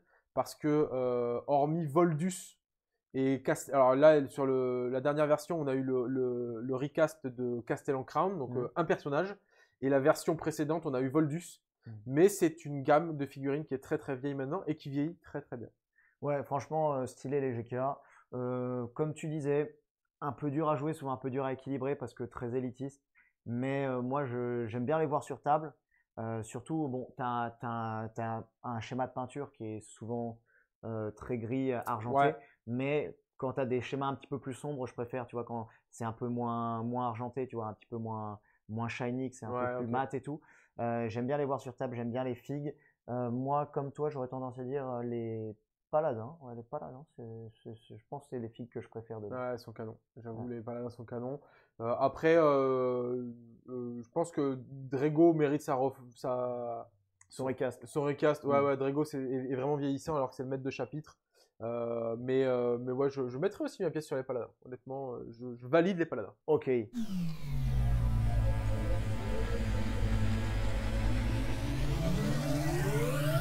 On passe tout de suite aux Votan, les derniers arrivés à l'heure actuelle dans le jeu. Ils ont quand même déjà une gamme, en dépit du fait qu'ils soient sortis récemment, ils ont déjà une belle gamme, quand même pas mal étoffée. C'est une armée que moi, esthétiquement, je n'affectionne pas des masses, mais à force de les voir sur table, bah, je, commence, je commence à m'y habituer. Quoi. Mais ce qu'on peut pas leur enlever, c'est qu'ils ont vraiment euh, leur patte graphique à eux.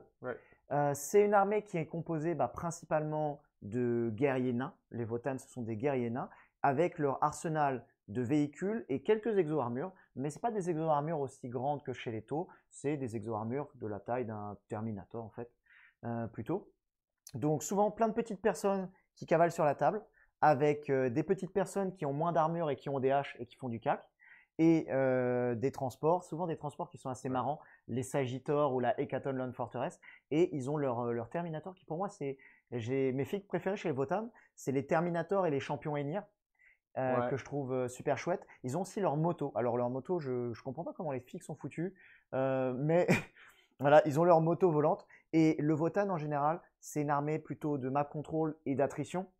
On se rappelle que c'est quand même euh, une armée qui a une capacité à faire beaucoup de dégâts. Et c'est une armée qui est rancunière en fait. ils ont un système de, points de rancune qui leur permettent d'être euh, plus, plus forts contre toi. Et ils cherchent des trésors en fait. Ils sont rancuniers, ils cherchent des trésors. C'est des nains quoi. Ah ouais, voilà, c'est des nains. C'est des nains, c'est vraiment des nains. Euh, mais ils ont cette patte là où ils vont être principalement quand même axés sur du tir. Ils ont deux unités qui font du corps à corps, c'est les Terminators et les Berserk, qui sont pas nécessairement déconnantes non plus en général, mais c'est quand même plus, plus une armée de tir. C'est une armée qui va être euh, peut-être plus lente que d'autres armées au niveau des figues de base, parce que c'est des petits, des petits nains, du coup ils bougent de 5, euh, ok, mais ils ont des transports qui sont plutôt rapides. Ils ont des motos qui peuvent voler, qui sont plutôt rapides. Et euh, ils sont quand même résilients sur la table. Ouais. Ils ont souvent des bonnes endus, des bonnes sauvegardes d'armure, tout ça. Euh, donc, moi, je les classerais dans les unités plutôt de map control, Ouais. un peu lentes, mais pas lentes comme la Death Guard parce qu'ils ont quand même une réelle projection de par leur transport. Et ouais. Et ils ont une réelle létalité en général, ils font vraiment mal. Et, et je dirais, ouais, c'est vraiment, là, on, on l'a- on le voit sur les deux versions sur lesquelles on, Mhm. on- peut expérimenter les Votan. Euh, pour l'instant, euh, c'est véritablement une armée véhiculée. hein. Mhm. Euh, c'est de c'est c'est du fantassin débarqué Ouais. euh, via les transports que tu as cités. hein. Mhm. Euh, mais, euh, mais globalement, le- l'armée ne se joue pas sans les transports pour l'instant. Mhm. Donc euh, il faut apprécier aussi ce côté, euh, mes fixes sont dans des véhicules. On va déplacer un peu les véhicules et au bout d'un moment, on va, on va, on va sauter du châssis, on va ouvrir la, la, la rampe de débarquement et puis on va essayer d'éclater l'adversaire. Euh, le, moi, je, ma figurine préférée, c'est vraiment le Berserk. Je, Ouais. trouve, je le trouve assez cool.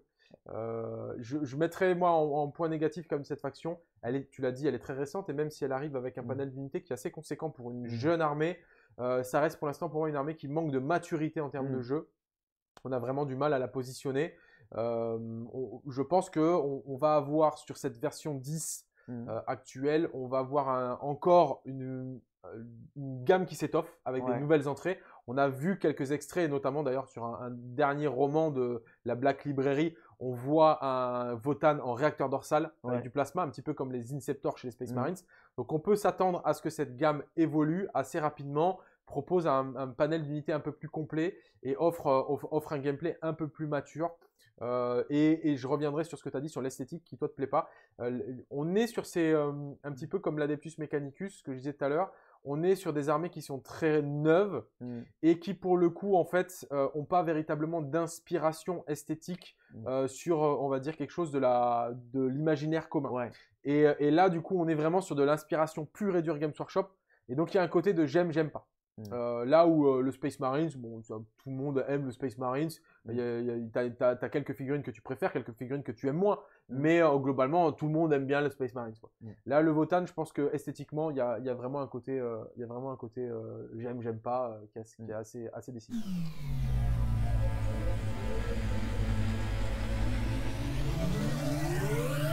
Alors du coup, parlons des World Eaters. World Eaters. Les World Eaters, ils sont pas arrivés après les Votan, les World Eaters? Alors, euh, c'est possible qu'ils soient arrivés Ils avant ou après. Ouais. Ils sont arrivés après? Ouais, Parce alors, que il y avait déjà des unités, il y avait les Berkos de Korn et tout. Ouais, mais le Codex, Ouais. et euh, le Codex est arrivé après. Ouais. Donc euh, c'est véritablement les derniers arrivés. Ouais, c'est vrai. que je pense qu'ils sont arrivés après les Votan. Avec les Octoliers et Angon, tout ça, ouais, c'est vrai. que- c'est arrivé après, ouais. Ouais, ouais. Bon, alors même si les World Eaters, on les connaissait déjà, hein, puisque c'est là, c'est le, c'est le penchant corne des Space Marines du Chaos, mais véritablement, euh, on rentre dans le spécifique. Là où on a le Space Marines du Chaos qui peut s'affilier Mm. au démon de Corne et, et dont les unités euh, peuvent profiter un petit peu de l'allégeance démoniaque. Mm. Là, on est sur un index qui est vraiment euh, corne attaquant, euh, ça meule, ça Ouais. meule le corps à corps. On est là pour mettre des mines, globalement. Alors, tout comme les Death Guard et tout comme les Thousand Sons, Mm. eh ben, les World Eaters ont leur primarque, c'est Angron. Euh, je la classe aussi dans probablement une des plus belles figurines de la gamme, Oui. euh, de Ah la oui. gamme de Games Workshop. Vraiment, elle, ça, c'est une figurine à, à, à concours. C'est une figurine à podium, euh, c'est une figurine à concours. Il y a énormément de volume, énormément de choses à peindre sur cette figurine. Elle, est- elle est, elle est complètement ouf. Et euh, ben, on est sur un gameplay euh, de corps à corps. Clairement, là. euh, si- Ah bon? Ouais, ouais, ouais. euh, euh, J'ai un doute. J'ai vraiment un doute. euh, parce qu'il y a peut-être un moment où tu joues des rhinos et tu as des lanceurs AVOC sur tes rhinos. Donc tu peux amener un ou deux tirs sur ta phase de tir. Euh, Il y a peut-être des pistolets plasma sur les Berkos aussi un petit peu.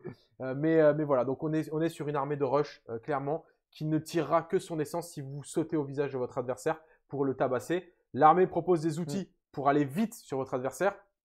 Là, actuellement, on a une mécanique de jeu autour des... Bah, des, euh, des euh, comment s'appelle ces dés? Des, Ectoliers, des Non, non, les dés... euh, le- Ah le- oui, le- les dés de Dîme 200 là. La, voilà, la dîme 200. Hmm. Je suis pas sûr que ça s'appelle la dîme 200 d'ailleurs. Ça tient C'est plus peut-être ce nom-là. un truc de AOS. euh, Euh, ouais, la Non, mais 200, si, c'est Blue Tide, son- c'est Dîme 200. La dîme 200 Ouais, je pense c'est un truc Ouais, comme un petit doute là-dessus. Mais bon, en gros, euh, vous avez la possibilité au début de, de chaque tour bah, de, de, récolter un petit peu Mm. les bénédictions de Korn, Mm. du, dieu, du dieu démoniaque, et du coup de booster votre armée grâce à ces bénédictions, et donc probablement bah, soit d'aller plus vite au corps à corps, soit de taper plus fort dans le corps à corps, soit faire plus de corps à corps. Mais quoi qu'il arrive, le but, c'est le corps à corps. Donc Korn, c'est vraiment ça, et on, ça, on va dire ça prend tout son sens avec les, derniers, les, les unités qui sont arrivées en même temps que l'index, à savoir les octoliers. Donc là, c'est véritablement l'élite, le parangon, Mm. hein, c'est Mm. le custodes chez les World Eaters. Sauf que lui, il est pas doré, il est Mm. rouge, il est un peu énervé au niveau du Ouais, visage. il a hein. huit démons à l'intérieur. Voilà, le gars, euh, on va dire qu'on est sur, euh, on est clairement sur du tripolaire là. On a, on a dépassé le stade du bipolaire, et, et donc on est sur un mec qui va vous foncer dessus, Mm. euh, qui tank, qui tape très très fort, et qui a pas mal d'outils. Il y a quelques figurines, on va dire charismatiques, notamment les berserk de Korn, Mm. hein, qui sont là depuis très très longtemps, qui sont là bien avant le Codex World Eater, Ouais. et, qui, et, incarnent Ouais. d'ailleurs, qui incarnent poten- enfin, totalement le, Mm. le- l'identité de, de l'armée euh, de l'armée World Eater. Euh, moi, j'adore la figurine de Karn. Je, je vais pas dire, même si j'aime énormément en gros, ma figurine préférée reste euh, la, la figurine de, Korn, de Karn le Félon, euh, qui, est, qui est vraiment cool. Alors, moi, je trouve au niveau du gameplay, le World Eater, en effet, c'est souvent un gameplay de CAC, mais il y a souvent plusieurs archétypes. Il y a l'archétype vraiment de corps à corps d'attrition et l'archétype de control map, avec principalement des chacos.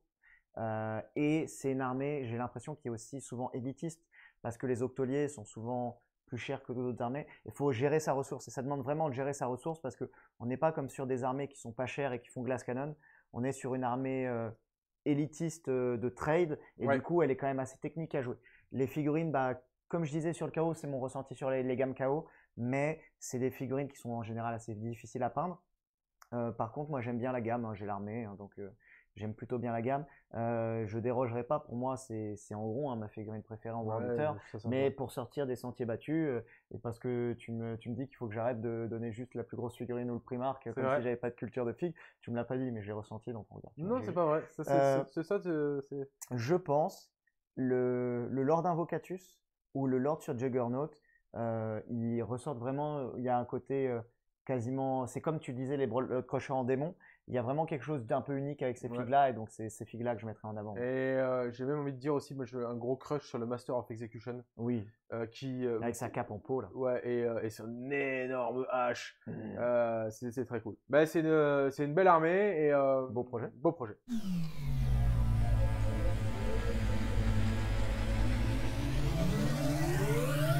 On passe au Tyrannide. Le petite blatte de Warhammer 40 000, c'est une des gammes, les- c'est une très gro- grosse gamme, très Ouais. étoffée. C'est une ancienne, c'est une armée très ancienne. C'est vraiment une armée casse à pattes qui est exceptionnelle. C'est euh, un déluge, un ravage de créatures insectoïdes qui viennent bouffer des planètes pour bouffer la galaxie, pour bouffer l'univers, Tout manger, les gars. pour tout manger. Les C'est mon armée. les gars faim. C'est mon armée. C'est vraiment, c'est si je devais me personnaliser dans une armée, le grand dévoreur, c'est moi. Ok.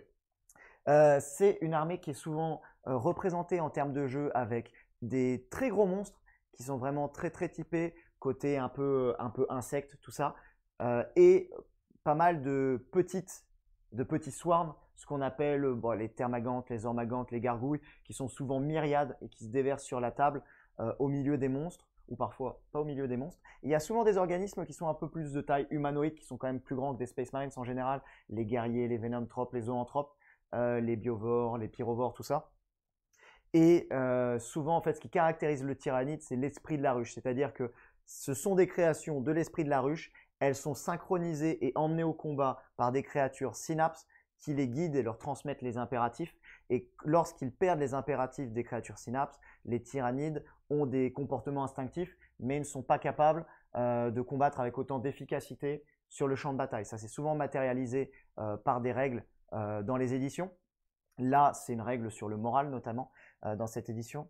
Euh, Il y a aussi un autre truc qui est prépondérant chez le tyrannide, c'est l'ombre dans le loir. Ouais. Les tyrannides, ils sont la némésis des psychers et des démons, même quand on est dans la flotte ruche Chronos. Mais c'est vraiment la némésis des, des, des psychers. Et du coup, quand ils arrivent, les psychers commencent à avoir des maux de crâne et n'arrivent plus à. Ils, ont, ils commencent à avoir mal, mal au crâne. Ils commencent à plus pouvoir euh, utiliser leur capacité psy, tout ça. Euh, c'est un peu euh, la galère pour eux.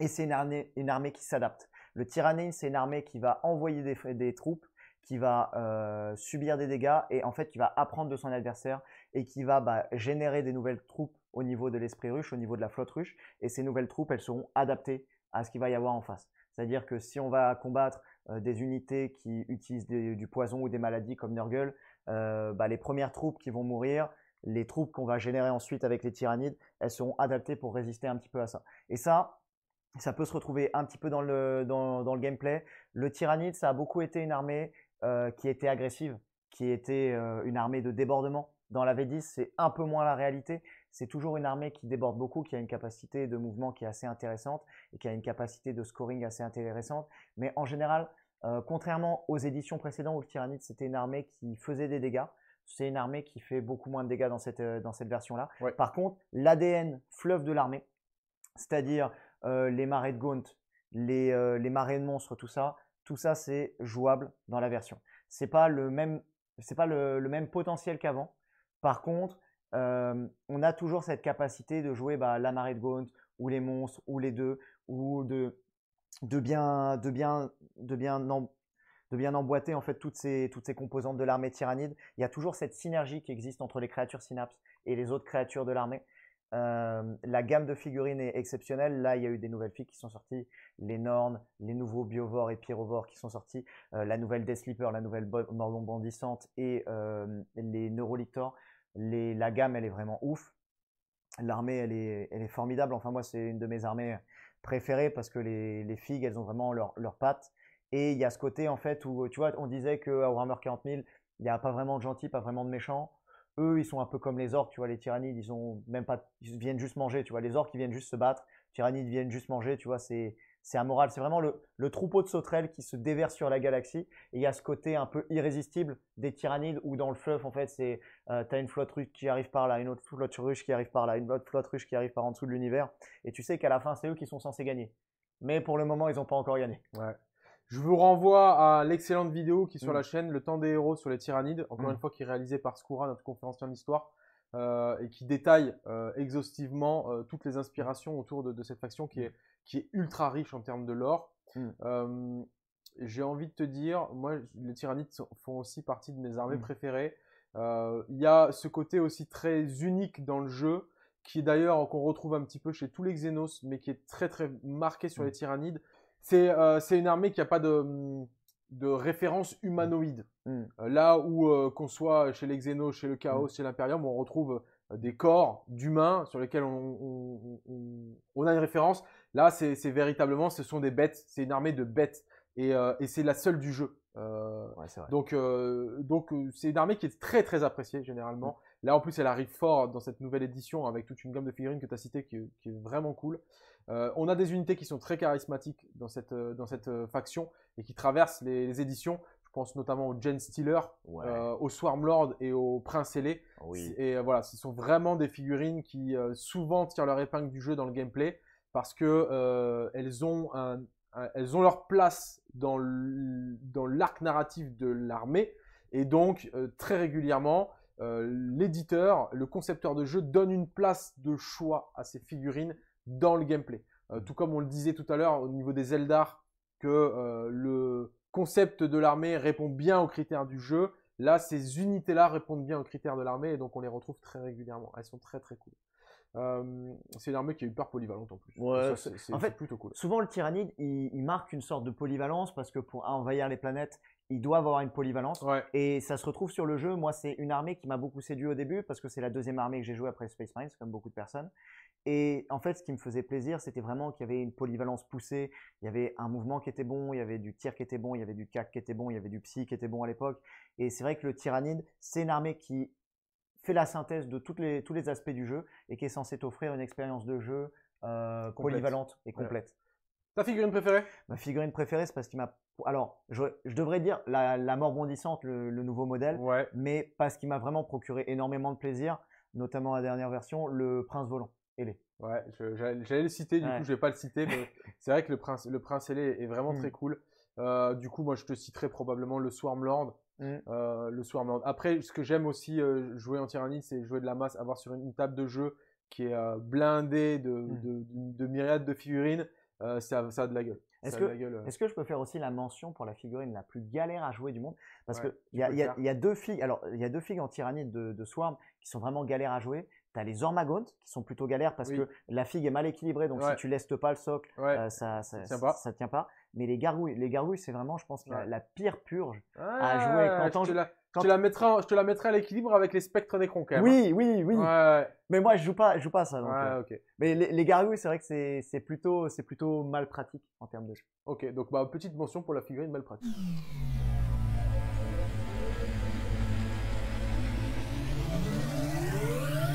Les Imperial Knights, les amis, bah là c'est on, on repasse un petit peu dans le penchant Pacific Rim du jeu.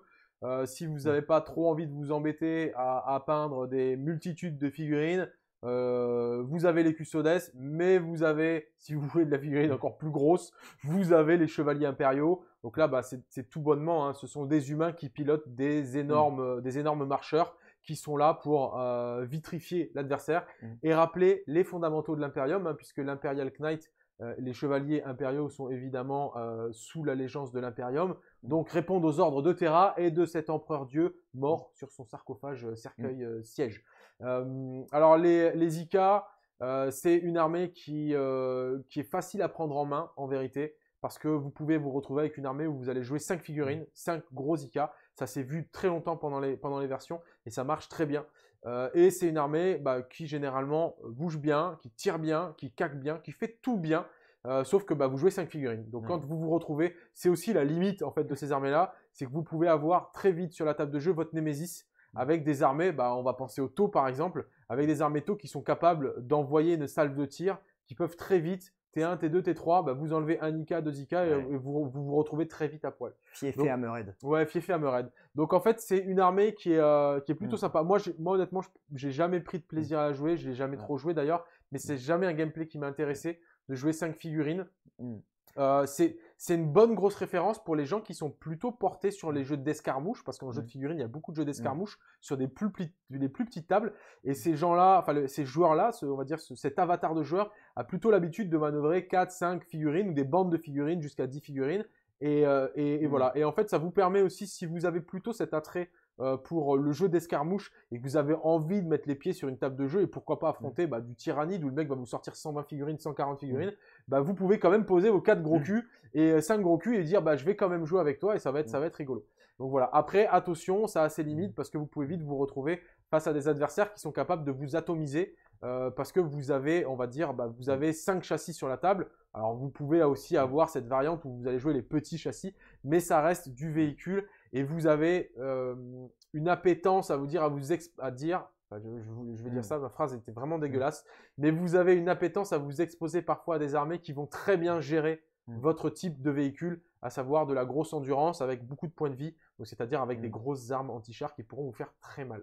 Et, Euh, voilà. et à contrario, en fait, souvent, il y a euh, l'IK, il est un peu, il est un peu en dehors du jeu parce qu'il ne vit pas dans le même monde que la plupart des armées. Parce qu'il y a plein d'armées qui n'avaient pas la capacité de le tuer, mais qui avaient très bien la capacité de bloquer ses mouvements Ouais. et de lui empêcher l'accès au jeu. Et ça a toujours été euh, une armée avec euh, son pendant euh, chaotique, euh, assez, euh, assez difficile à manœuvrer, assez difficile à mettre dans la, dans la méta. D'autant plus qu'il y a un petit côté, il y a un petit côté chevaleresque chez les IK où Oui, ils font des liges, ils, ils ont des un peu, c'est vraiment, c'est no- des- un peu noblard. c'est vraiment la noblesse, tu vois. Ah, la C'est la noblesse, c'est au niveau des princeps et tout.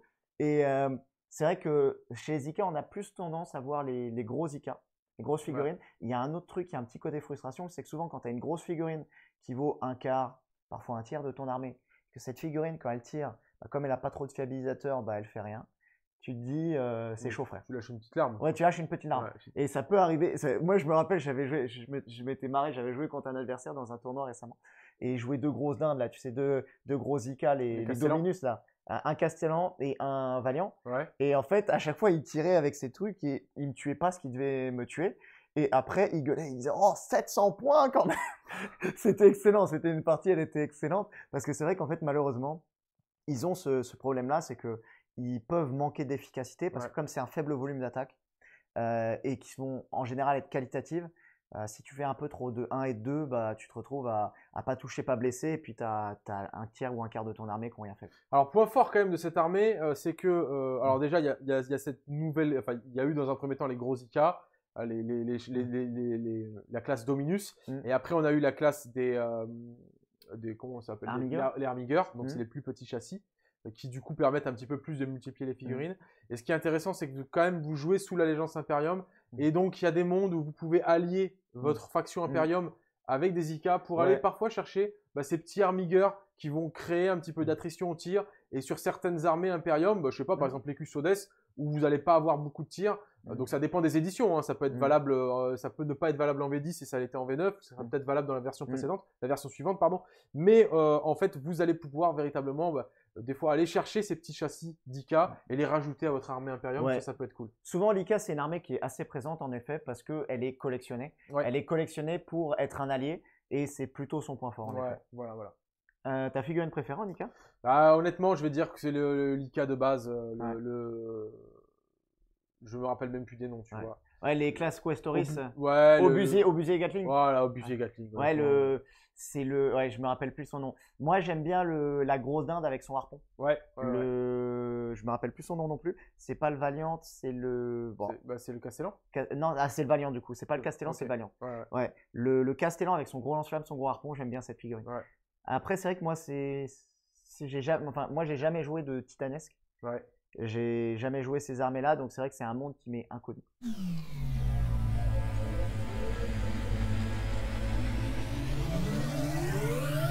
Et en parlant de monde inconnu, on enchaîne la transition sur le pendant chaotique des Ika, les Renegade Knights. Les Renegade Knights, c'est une gamme qui est très similaire aux Ika, Ouais. sauf que euh, ils vont vraiment avoir leur gamme particulière d'arm- d'armigueurs, alors que les Ika n'ont que deux variants de petits. Euh, les Renegade Knights ont euh, quatre ou cinq Quatre- variants. ouais. Ouais, quatre variants avec des variants spécialisés corps à corps, des variants spécialisés tir. Donc, ils vont avoir des petits qui sont vraiment euh, extrêmement spécialisés, voire polyvalents, et qui vont vraiment avoir leurs pattes. Ils ont des gros qui vont, ils vont pas avoir des super gros, ils vont pas avoir la classe Dominus comme les. Exact. Par contre, ils vont avoir des Questoris qui font de, qui sont trackers avec des tentacules qui commencent à sortir des bras. Donc vraiment, il y a le côté chaotique. Euh, le Renegade Knight, il se différencie de Lika parce que lui, en général, il n'est pas noble. Il essaye pas de faire des quêtes, il essaye pas de Ouais, faire des liges. ouais, il est pas là pour la gloire. Il lui. essaye de te faire peur. Il te met dans une aura d'effroi et il essaye de jouer sur ta peur euh, pour tirer des avantages en jeu, pour te donner des malus ou pour te faire plus mal et pour te diminuer ta capacité à scorer. Euh, les Renegade Knights, ils ont aussi en général quelque chose qui les différencie fondamentalement des IK. C'est que déjà, on voit les, les RK en général, ils sont plus du côté dégâts et les IK, ils sont plus du côté un petit peu tanking. En général, ça, c'est des tendances qui peuvent se, se lisser ou s'affirmer d'une édition à l'autre. Mais le RK, souvent, ce pourquoi il va être en général un peu meilleur que l'IK, c'est qu'il a la capacité de traverser les murs. Depuis quelques versions, euh, il a toujours un petit stratagème qui lui permet de traverser les murs Ouais. et de pas se faire move block, contrairement aux IK. Et c'est ça qui fait que qui va donner vraiment euh, une petite patte au RK. Euh, il va être un allié pour les forces du chaos, Ouais. mais il va aussi bénéficier des alliances du chaos parce que lui, il va pouvoir aller chercher, comme l'IK peut aller chercher des alliés inquisition, euh, le RK peut aller chercher des alliés démons. Et du coup, en fait, c'est une, une armée qui se construit soit pour allier euh, avec des forces du chaos qui en ont besoin, soit il peut aller prendre certaines forces du chaos, notamment démoniaques, Ouais. pour avoir euh, du map control en peu, plus. un peu Ouais. ouais. Moi, je préf... je- honnêtement, je préfère les RK aux Zika aussi, et tout simplement parce que j'ai l'impression que c'est quand même une armée qui a un peu plus de caractère. Euh, là où tu, justement tu parlais du côté IK avec le côté noble, quête, etc. euh, du coup, ça lisse vachement. hein, c'est Ouais. très lisse, Ouais. c'est très mainstream en fait. Euh, là où le, le RK, lui, Mm. euh, il est, euh, c'est bon, c'est chaotique en fait. hein, c'est véritablement chaotique. Et du coup, ça se ressent dans le gameplay. Mm. Et l'éditeur de jeu et le concepteur de jeu propose un petit peu plus de caractère au jeu. RK. Et, et je trouve que c'est plus plaisant à jouer. Donc moi, j'aurais tendance quand même à mettre ma pièce sur le RK. Ma figurine préférée, c'est le gros RK de, de le Psyker. hein, Ouais, avec, Avec- les, les tentacules. Avec les tentacules, celle-ci Ouais. est vraiment canon. Moi, mon préféré, c'est le petit, là, le carnivore. Avec, Il euh, est cool aussi. Ouais, il est cool avec Ouais. vraiment euh, pince, tronçonneuse, tête de chacal, c'est bon. Lui, tu sais, tu sais quel est son projet. hein. Ouais, c'est clair. Tu peux le peindre en rouge direct.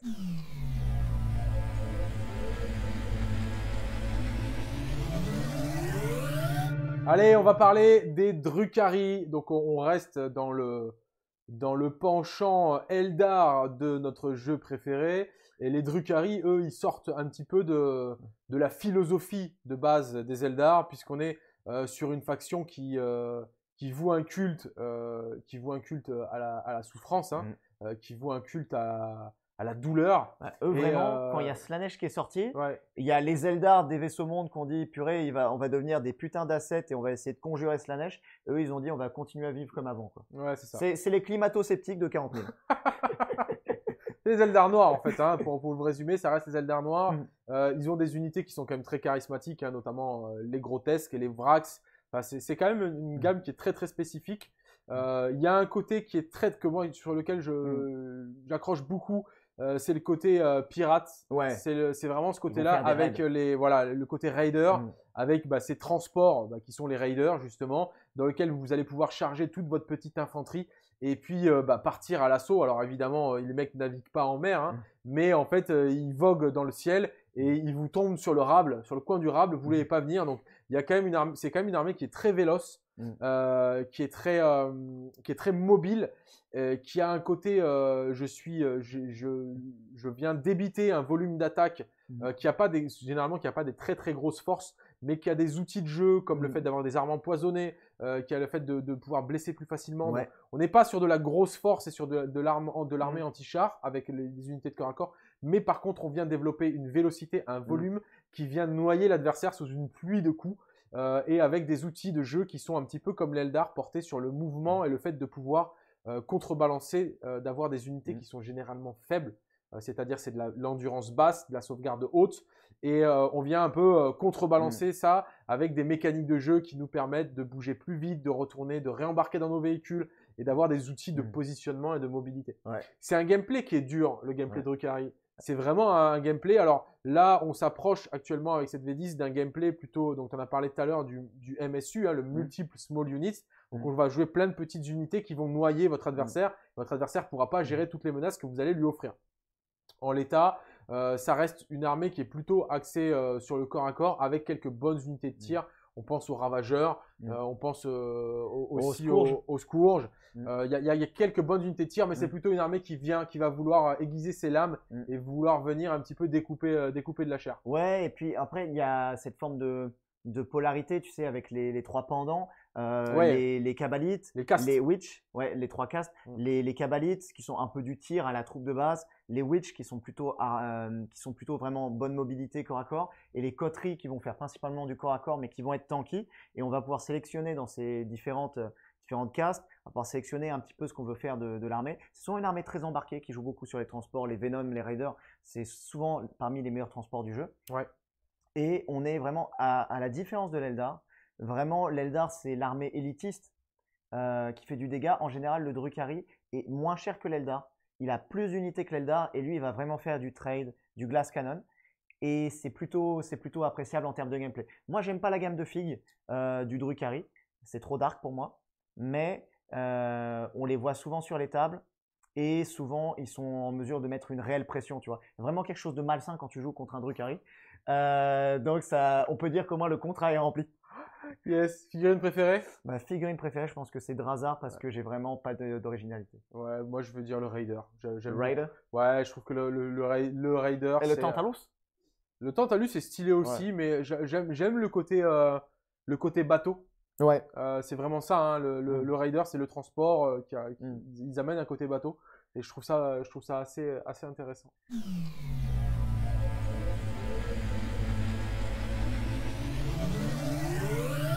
Va passer au meilleur pour l'avant-dernier, le culte Genestealer. Euh, ça, c'est l'armée des petits chauves hein, qu'on aime bien. hein. Toi et moi, on aime bien. On est des joueurs tyranniers, donc on est des joueurs GSC aussi. hein. Euh, les GSC, le Genestealer culte, ce sont des humains infectés par les tyrannides, par des Genestealers plus particulièrement. Il y a un petit côté alien où le Genestealer, il te fait un bisou, il lave ton esprit et pond euh, un petit gosse à l'intérieur Ouais. qui va sortir sous forme d'hybride. Euh, Genestealer culte, du coup, c'est les forces de Genestealer qui vont venir en reconnaissance sur les planètes pour les infecter, pour faciliter l'invasion des tyrannides avant. Ça ne marche qu'avec les humains parce que les autres races de la galaxie euh, ont des mécaniques pour s'en prémunir. Les taux ou les orques, ils ont des mécaniques qui font que ça ne marche pas chez eux. Par contre, ça marche chez les humains. Donc, au niveau des unités qu'on va retrouver, on va retrouver des humains hybrides, soit des humains hybrides euh, de corps à corps, principalement les acolytes euh, hybrides ou métamorphes. On va retrouver des, des, des, des acolytes, euh, enfin des hybrides euh, ratés, un peu des hybrides, des hybrides difformes, les aberrants. On va retrouver euh, les hybrides qui ressemblent de plus en plus à des humains, les néophytes. Ouais. Et après, le, vraiment le, le pinacle de tout ça, le pinacle de tout ça, c'est les hybrides, la forme la forme finale après plusieurs gestations d'hybrides, c'est les Genestealers pure souche qui, eux, vont pouvoir continuer l'infestation dans d'autres coins. À ça, on va rajouter des unités, bah, il y a un côté très steampunk, un peu même Mad Max, tu vois, avec les, les, Achilles et les, les Goliaths et les motos qui sont un peu des véhicules du désert. les, les, personnages, en fait, le, GSC, c'est une, une, armée qui a beaucoup de personnages parce qu'en fait, tous les personnages vont avoir un rôle dans le culte. Les unités sont assez apersonnelles, c'est des unités très redondantes qui n'ont pas vraiment de substance en elles-mêmes. Par contre, les personnages vont vraiment donner le corps et la patte à l'armée. Euh, le personnage qui trône au milieu de ça, c'est le patriarche. Mais après, il y a toute une cohorte. En fait, il y a au moins 10-12 personnages qui ont tous un rôle euh, différent. Euh, de la communication, des réseaux sociaux, jusqu'aux planifications d'invasion. donc, c'est vraiment une armée qui est à part entière et qui va pouvoir mobiliser une partie des forces de la garde impériale dans ses rangs sous forme de frères de couvain. cette armée-là, elle, elle, hybride euh, des, vraiment, des typologies vraiment très humaines, avec un petit peu de typologie Xenos. En termes de modélisme, c'est peut-être pas la, la, plus belle armée, mais souvent c'est une armée qui, en termes de jeu, est passionnante parce que c'est une armée de tricks, c'est une armée de micro-gestion, de macro-gestion, qui joue beaucoup sur la FEP, qui joue beaucoup sur le redéploiement et qui est en général extrêmement formateur, formateuse. C'est pas une armée pour débutants parce que euh, il y a beaucoup de figurines à peindre, il y a beaucoup de modélisme à faire. Il faut avoir beaucoup de figurines différentes. Euh, c'est un peu redondant en termes de peinture parce que quand tu peins sans acolyte ou sans néophyte, il y a une forme de redondance qui s'opère, tu vois, au niveau de. Ouais, c'est même plus une forme là. Hein. il y a une forme de redondance qui s'opère. Par contre, le gameplay est vraiment euh, valorisant en termes d'expérience de jeu, en termes de compétences sur la table, parce que c'est une armée qui résiste peu. La seule unité résistante de l'armée, c'est en général les aberrants, euh, qui sont vraiment axés sur le tanking, mais qui ont d'autres faiblesses, soit le coup en point, soit leur inefficacité.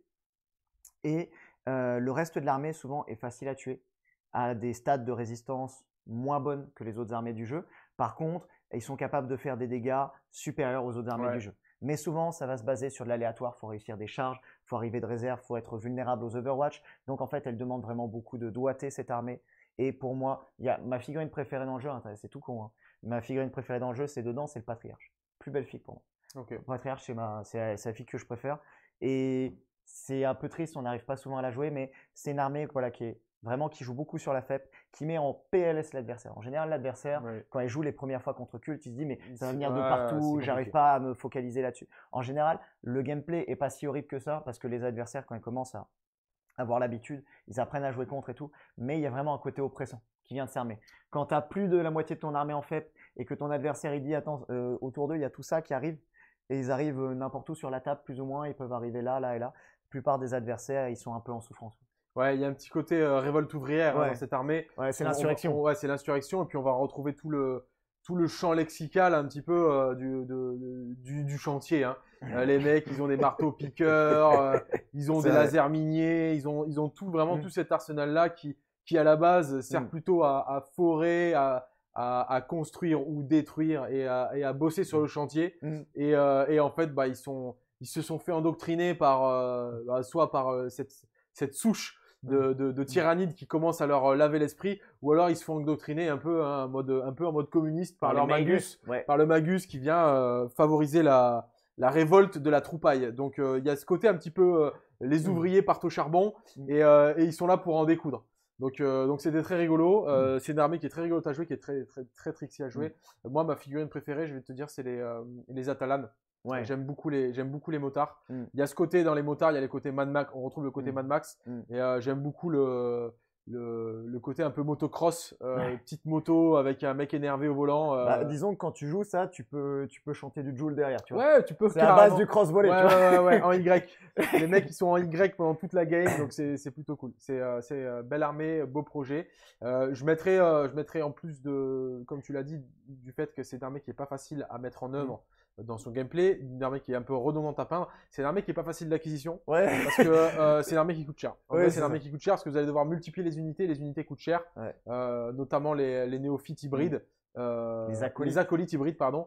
Qui coûtent 40 balles les 5 et il vous en faut, il vous en faut généralement 40. C'est ça. 40 ou 60 selon les versions. Donc, donc c'est pas une armée qui est facile d'acquisition. Mais généralement, mm. le joueur tyrannide, mm. quand il est un peu lassé de son armée parce que ça fait 10 ans qu'il la joue, il va commencer à aller Mm, ouais. doucement gratter vers les entrées euh, cul de gêne Mm. et, puis, euh, et puis commencer un peu sa, sa reconversion.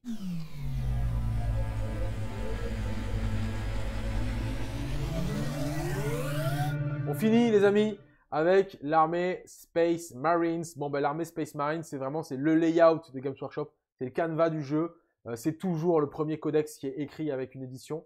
Euh, c'est l'armée la plus jouée. Euh, et pourtant, c'est une armée qui propose, via le système de chapitres Space Marines, euh, eh bien, une multitude de gameplay possibles. hein. C'est le codex le plus riche. Mm. C'est là où on retrouvera le plus de sous-factions, Mm. qui ont le plus d'identité, le plus de personnages possibles.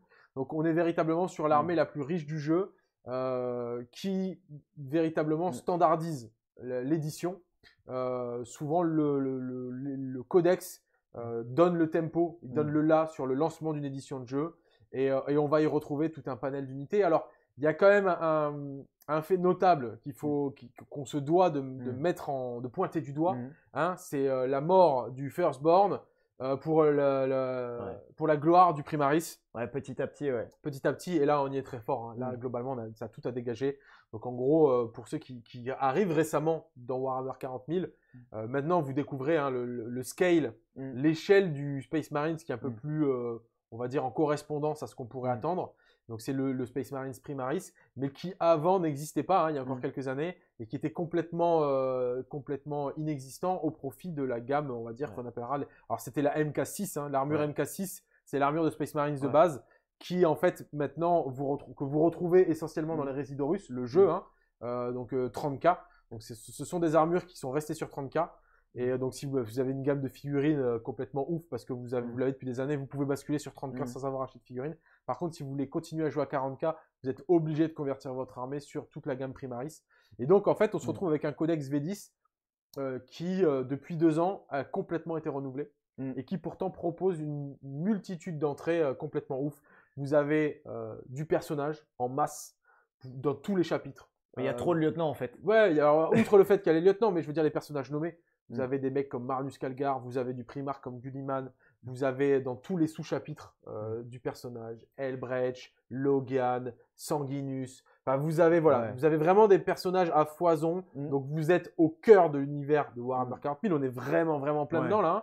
Euh, donc vous avez un max de personnages, vous avez au taquet aussi de, de, bah, de, de caractères euh, un Mm. peu vanille, hein, des, des librarians, donc les magiciens en Terminator, des chapelains, euh, des chapelains à moto, des lieutenants, des capitaines. Vous avez vraiment tout un, pa- un package de personnages que vous pouvez jouer dans votre armée pour aller booster, stuffer vos unités. On va avoir une gamme d'infanterie euh, ultra complète Mm. euh, avec bah, différents, différents niveaux d'armure. hein. On a le Space Marines Primaris, on va dire qui est un peu maintenant le, le standard. On va avoir l'armure Gravis, où là on va augmenter en endurance, on va augmenter en points de vie. Euh, et on va augmenter évidemment en coût en points, mais on a des armes un peu plus conséquentes. Donc Mm. on a les, les Gravis intercesseurs Mm. lourds, on a les Gravis euh, classiques, on va avoir les armures In- Inceptor, etc. etc. Et, euh, et donc voilà.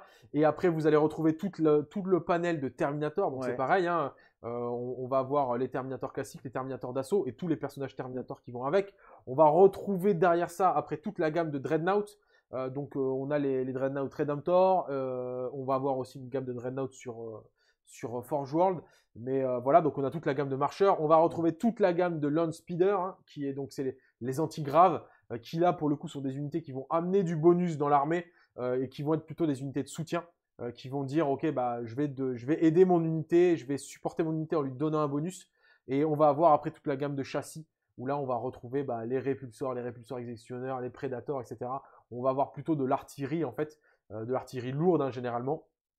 Euh, donc voilà, donc en fait c'est une armée qui est ultra polyvalente et c'est une armée sur laquelle vous pouvez prendre beaucoup de plaisir. On a qu'on va dire le penchant vanille du codex avec le codex de base et après on va avoir toutes euh, ces euh, dénominations via des chapitres spécifiques avec des suppléments de codex. Vous allez retrouver les Blue Angel qui là sont véritablement une armée de corps à corps avec l'unité emblématique qui est la, compagnie de la mort et, et beaucoup de personnages clés. On va retrouver les Space Wolf qui sont aussi une armée de corps à corps mais avec, on va dire, comme unité plus emblématique, les loutonnaires, euh, qui sont bah, des, des- Il y a une grosse empreinte viking Ouais. à l'armée et qui sont des chevaucheurs de loups. Hein. Les Blood Angels, c'est plutôt euh, un- empreinte un peu italienne avec euh, beaucoup d'unités qui volent. Si, mozzarella Donc, euh, donc voilà. C'était raciste et offensant.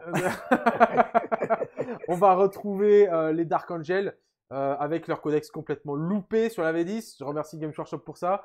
euh, qui eux sont plutôt, euh, ils ont ils ont deux penchants, hein, le côté Deathwing qui est le- le- l'enclume, le Terminator, et le côté Ravenwing qui est l'agression, la rapidité. Et le côté hérétique aussi un peu. Et le côté un peu hérétique, ça, ça dépend. Ça dépend de quel point de vue on regarde. Vous allez retrouver la Death Watch, euh, qui est probablement le chapitre le plus dur à manœuvrer en Space Marine, je pense. Euh, parce que vous avez, euh, alors très, c'est assez dur à expliquer, mais vous avez en gros la possibilité de jouer euh, bah, tous les chapitres dans un chapitre. Et en fait, chacun va amener sa spécialité. Et en termes de gameplay, bah, on se retrouve avec euh, des, des petites kill teams Ouais. et le- la capacité de stuffer des petites unités, des- un groupe d'unités qui va avoir sa spécialité sur le champ de bataille. Euh, et euh, j'en ai oublié un, bah les.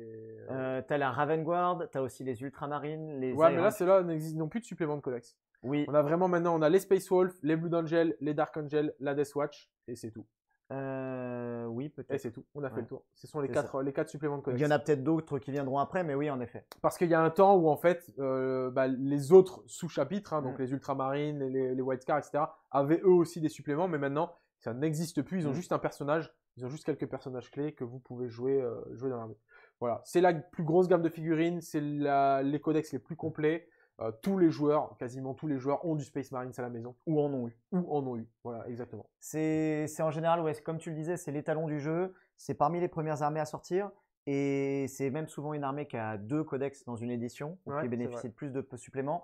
Euh, et c'est c'est vraiment, c'est souvent le- l'étalon sur lequel on va se baser euh, par rapport pour, pour les autres armées.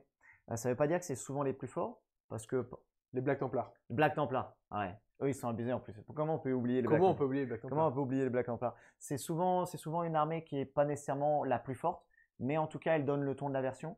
Euh, en termes de, de collection, je pense que c'est une collection que, où tu t'arraches un peu les cheveux, parce que d'une version à l'autre, euh, les unités que tu as, tu vois, bah, en fait, c'est d'autres unités qui vont être mises de- euh, Ouais. sur le devant de la scène. 100%. Et en fait, tu te retrouves continuellement. En fait, la gamme, elle est tellement vaste. Tu as ta gamme sur, mettons, une édition. Six mois après, un an après, tu dois reprendre d'autres, euh, collectionner d'autres figurines parce que c'est ça qui va être méta. Donc, euh, c'est vrai que c'est à double tranchant. Ouais. C'est, tu as tous les outils dans la collection, mais tu auras toujours des trucs à acheter. Et surtout, là, le, le conseil, le conseil de la vidéo, ne vendez pas vos figurines, les gars. Ouais. Euh, parce qu'en fait, vous- moi, moi, tu vois, par exemple, je- j'ai eu un temps, eu ma belle unité de Centurion Dévastator Ah oui. euh, en canon laser, parce Ouais. que je la joue à l'époque où tu pouvais jouer avec GK, tu Ouais. mettais Drago dedans, etc. Ça, je crois que c'était la V7. Et, euh, et euh, après, ça se jouait plus. J'ai les vendus. Et honnêtement, je le regrette parce que j'ai plus du coup mon, mon pack de Centurion et, ça, et là maintenant ça, ça, s'est rejoué. Donc voilà, je, vous- franchement, je, d'expérience, je vous le dis, ne vendez pas vos figurines, Mm. même si sur l'édition à laquelle vous jouez, bah, comme l'a dit Lucas, elles Mm. sont plus forcément euh, les plus optimisées. Euh, elles reviendront. À un moment Mm. ou à un autre, elles reviendront et Mm. vous serez content de ressortir euh, votre pack Ouais. de Centurion, votre vieux pack de Terminator et tout. Vous serez vraiment Ah, content de les Il y a avoir. des trucs euh, qui passent en légende, donc tu les ressortiras pas, mais il y a des unités Ouais. où, où en effet, vaut mieux les garder. Vaut mieux parfois s'acheter un carton que de brader ses fixes sur le bon coin. Ouais. Figurine préférée des Space Marines? Alors, Ah, c'est dur. C'est dur. Ah, c'est dur. C'est dur, c'est pas une gamme que j'affectionne le plus, mais comme j'ai envie de troller un peu, je vais dire le Storm Raven. Ok, ok, euh, ouais, ouais, ouais, ouais, c'est du gros troll effectivement. Le, bah, après, il est pas dégueulasse en vrai le. Ouais, Raven, il est pas dégueulasse. pas dégueu. Euh, honnêtement, il y a, y a beaucoup, je pense qu'il y a beaucoup trop de figurines dans cette, euh, Mm. dans, dans cette faction pour pouvoir en tirer une. Mm. Je vais dire que mes dernières figurines préférées, c'est les frères d'épée chez les Black Templars. Oh ouais. J'adore. Ah, ils sont beaux. Et sur le codex Space Marine sur lui-même, j'aurais tendance à dire les Blade Guard. J'adore Oui. le côté bouclier épée, je kiffe.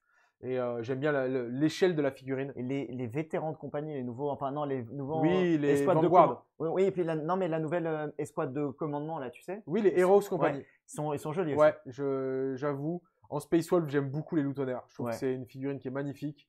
Euh, en Deathwatch, euh, Artemis. J'aime bien le personnage Artemis. Ouais. Que, que, que je trouve assez stylé. Mhm. Et en Blue Angel, franchement, je, moi j'adore la figurine de, du Sanguinor. El Sanguinor. Ouais, le Sanguinor est canon. Ouais. Et il y a le nouveau Dante, enfin, il y a plein, il y a vraiment beaucoup, beaucoup, de belles figurines. Beaucoup de choses à faire chez les SM. C'est validé par l'arbitre de touche. Ok. On arrive à la fin de cette vidéo, les amis. J'espère que ça vous a plu. Si c'est le cas, pensez à claquer le like des familles, à mettre un commentaire, à partager la vidéo, les amis, à la partager, à la repartager euh, en masse, massivement, euh, Mm. pour, euh, pour la grande gloire de Creative Wargame. Pensez à vous abonner à la chaîne si vous découvrez cette vidéo, à liker, euh, les- les- activer la petite cloche. La petite cloche, ça mange pas de pain. Vous nous retrouvez, les gars, sur les réseaux sociaux, sur Facebook, sur Instagram, sur Discord, sur la newsletter. Vous avez tous les liens dans la description. Et cette vidéo, elle est sponsorisée aussi par nos partenaires, à savoir Myobi Place, les gars, vos figurines Games Workshop à moins 20%. Ce sont les meilleurs prix du net francophone, les gars. Vous avez le lien dans la description. Euh, évidemment, si vous avez, si vous aimez la figurine, je ne peux que vous conseiller d'aller faire un tour chez 3D Mini. Vous avez aussi le lien dans la description. Vous avez euh, plus de 16 000 références de figurines. Euh, c'est un imprimeur de figurines, donc ce sont des références qui ne sont pas celles de Games Workshop, mais qui peuvent largement être jouées en proxy sur Warhammer 40 000. Et vous avez de la figurine pour tous les jeux du monde et de l'univers connu. Donc c'est absolument incroyable. Et puis euh, notre partenaire euh, Torek qui fait des tapis de jeu et des accessoires. Voilà, vous avez tous les liens dans la description. Je ne peux que vous inviter euh, à les voir et puis à, aller découvrir. Surtout, c'était là, je vais clôturer cette vidéo là-dessus. Allez découvrir les vidéos du temps des héros. On a fait les Tyrannides, les Drukhari, la Death Guard mm. et les Ultramarines. C'est des vidéos que je trouve très très qualitatives. Donc voilà, allez les découvrir sans plus attendre. je vous dis à très bientôt pour de nouvelles vidéos sur Creative Wargame. Ciao les seigneurs de guerre.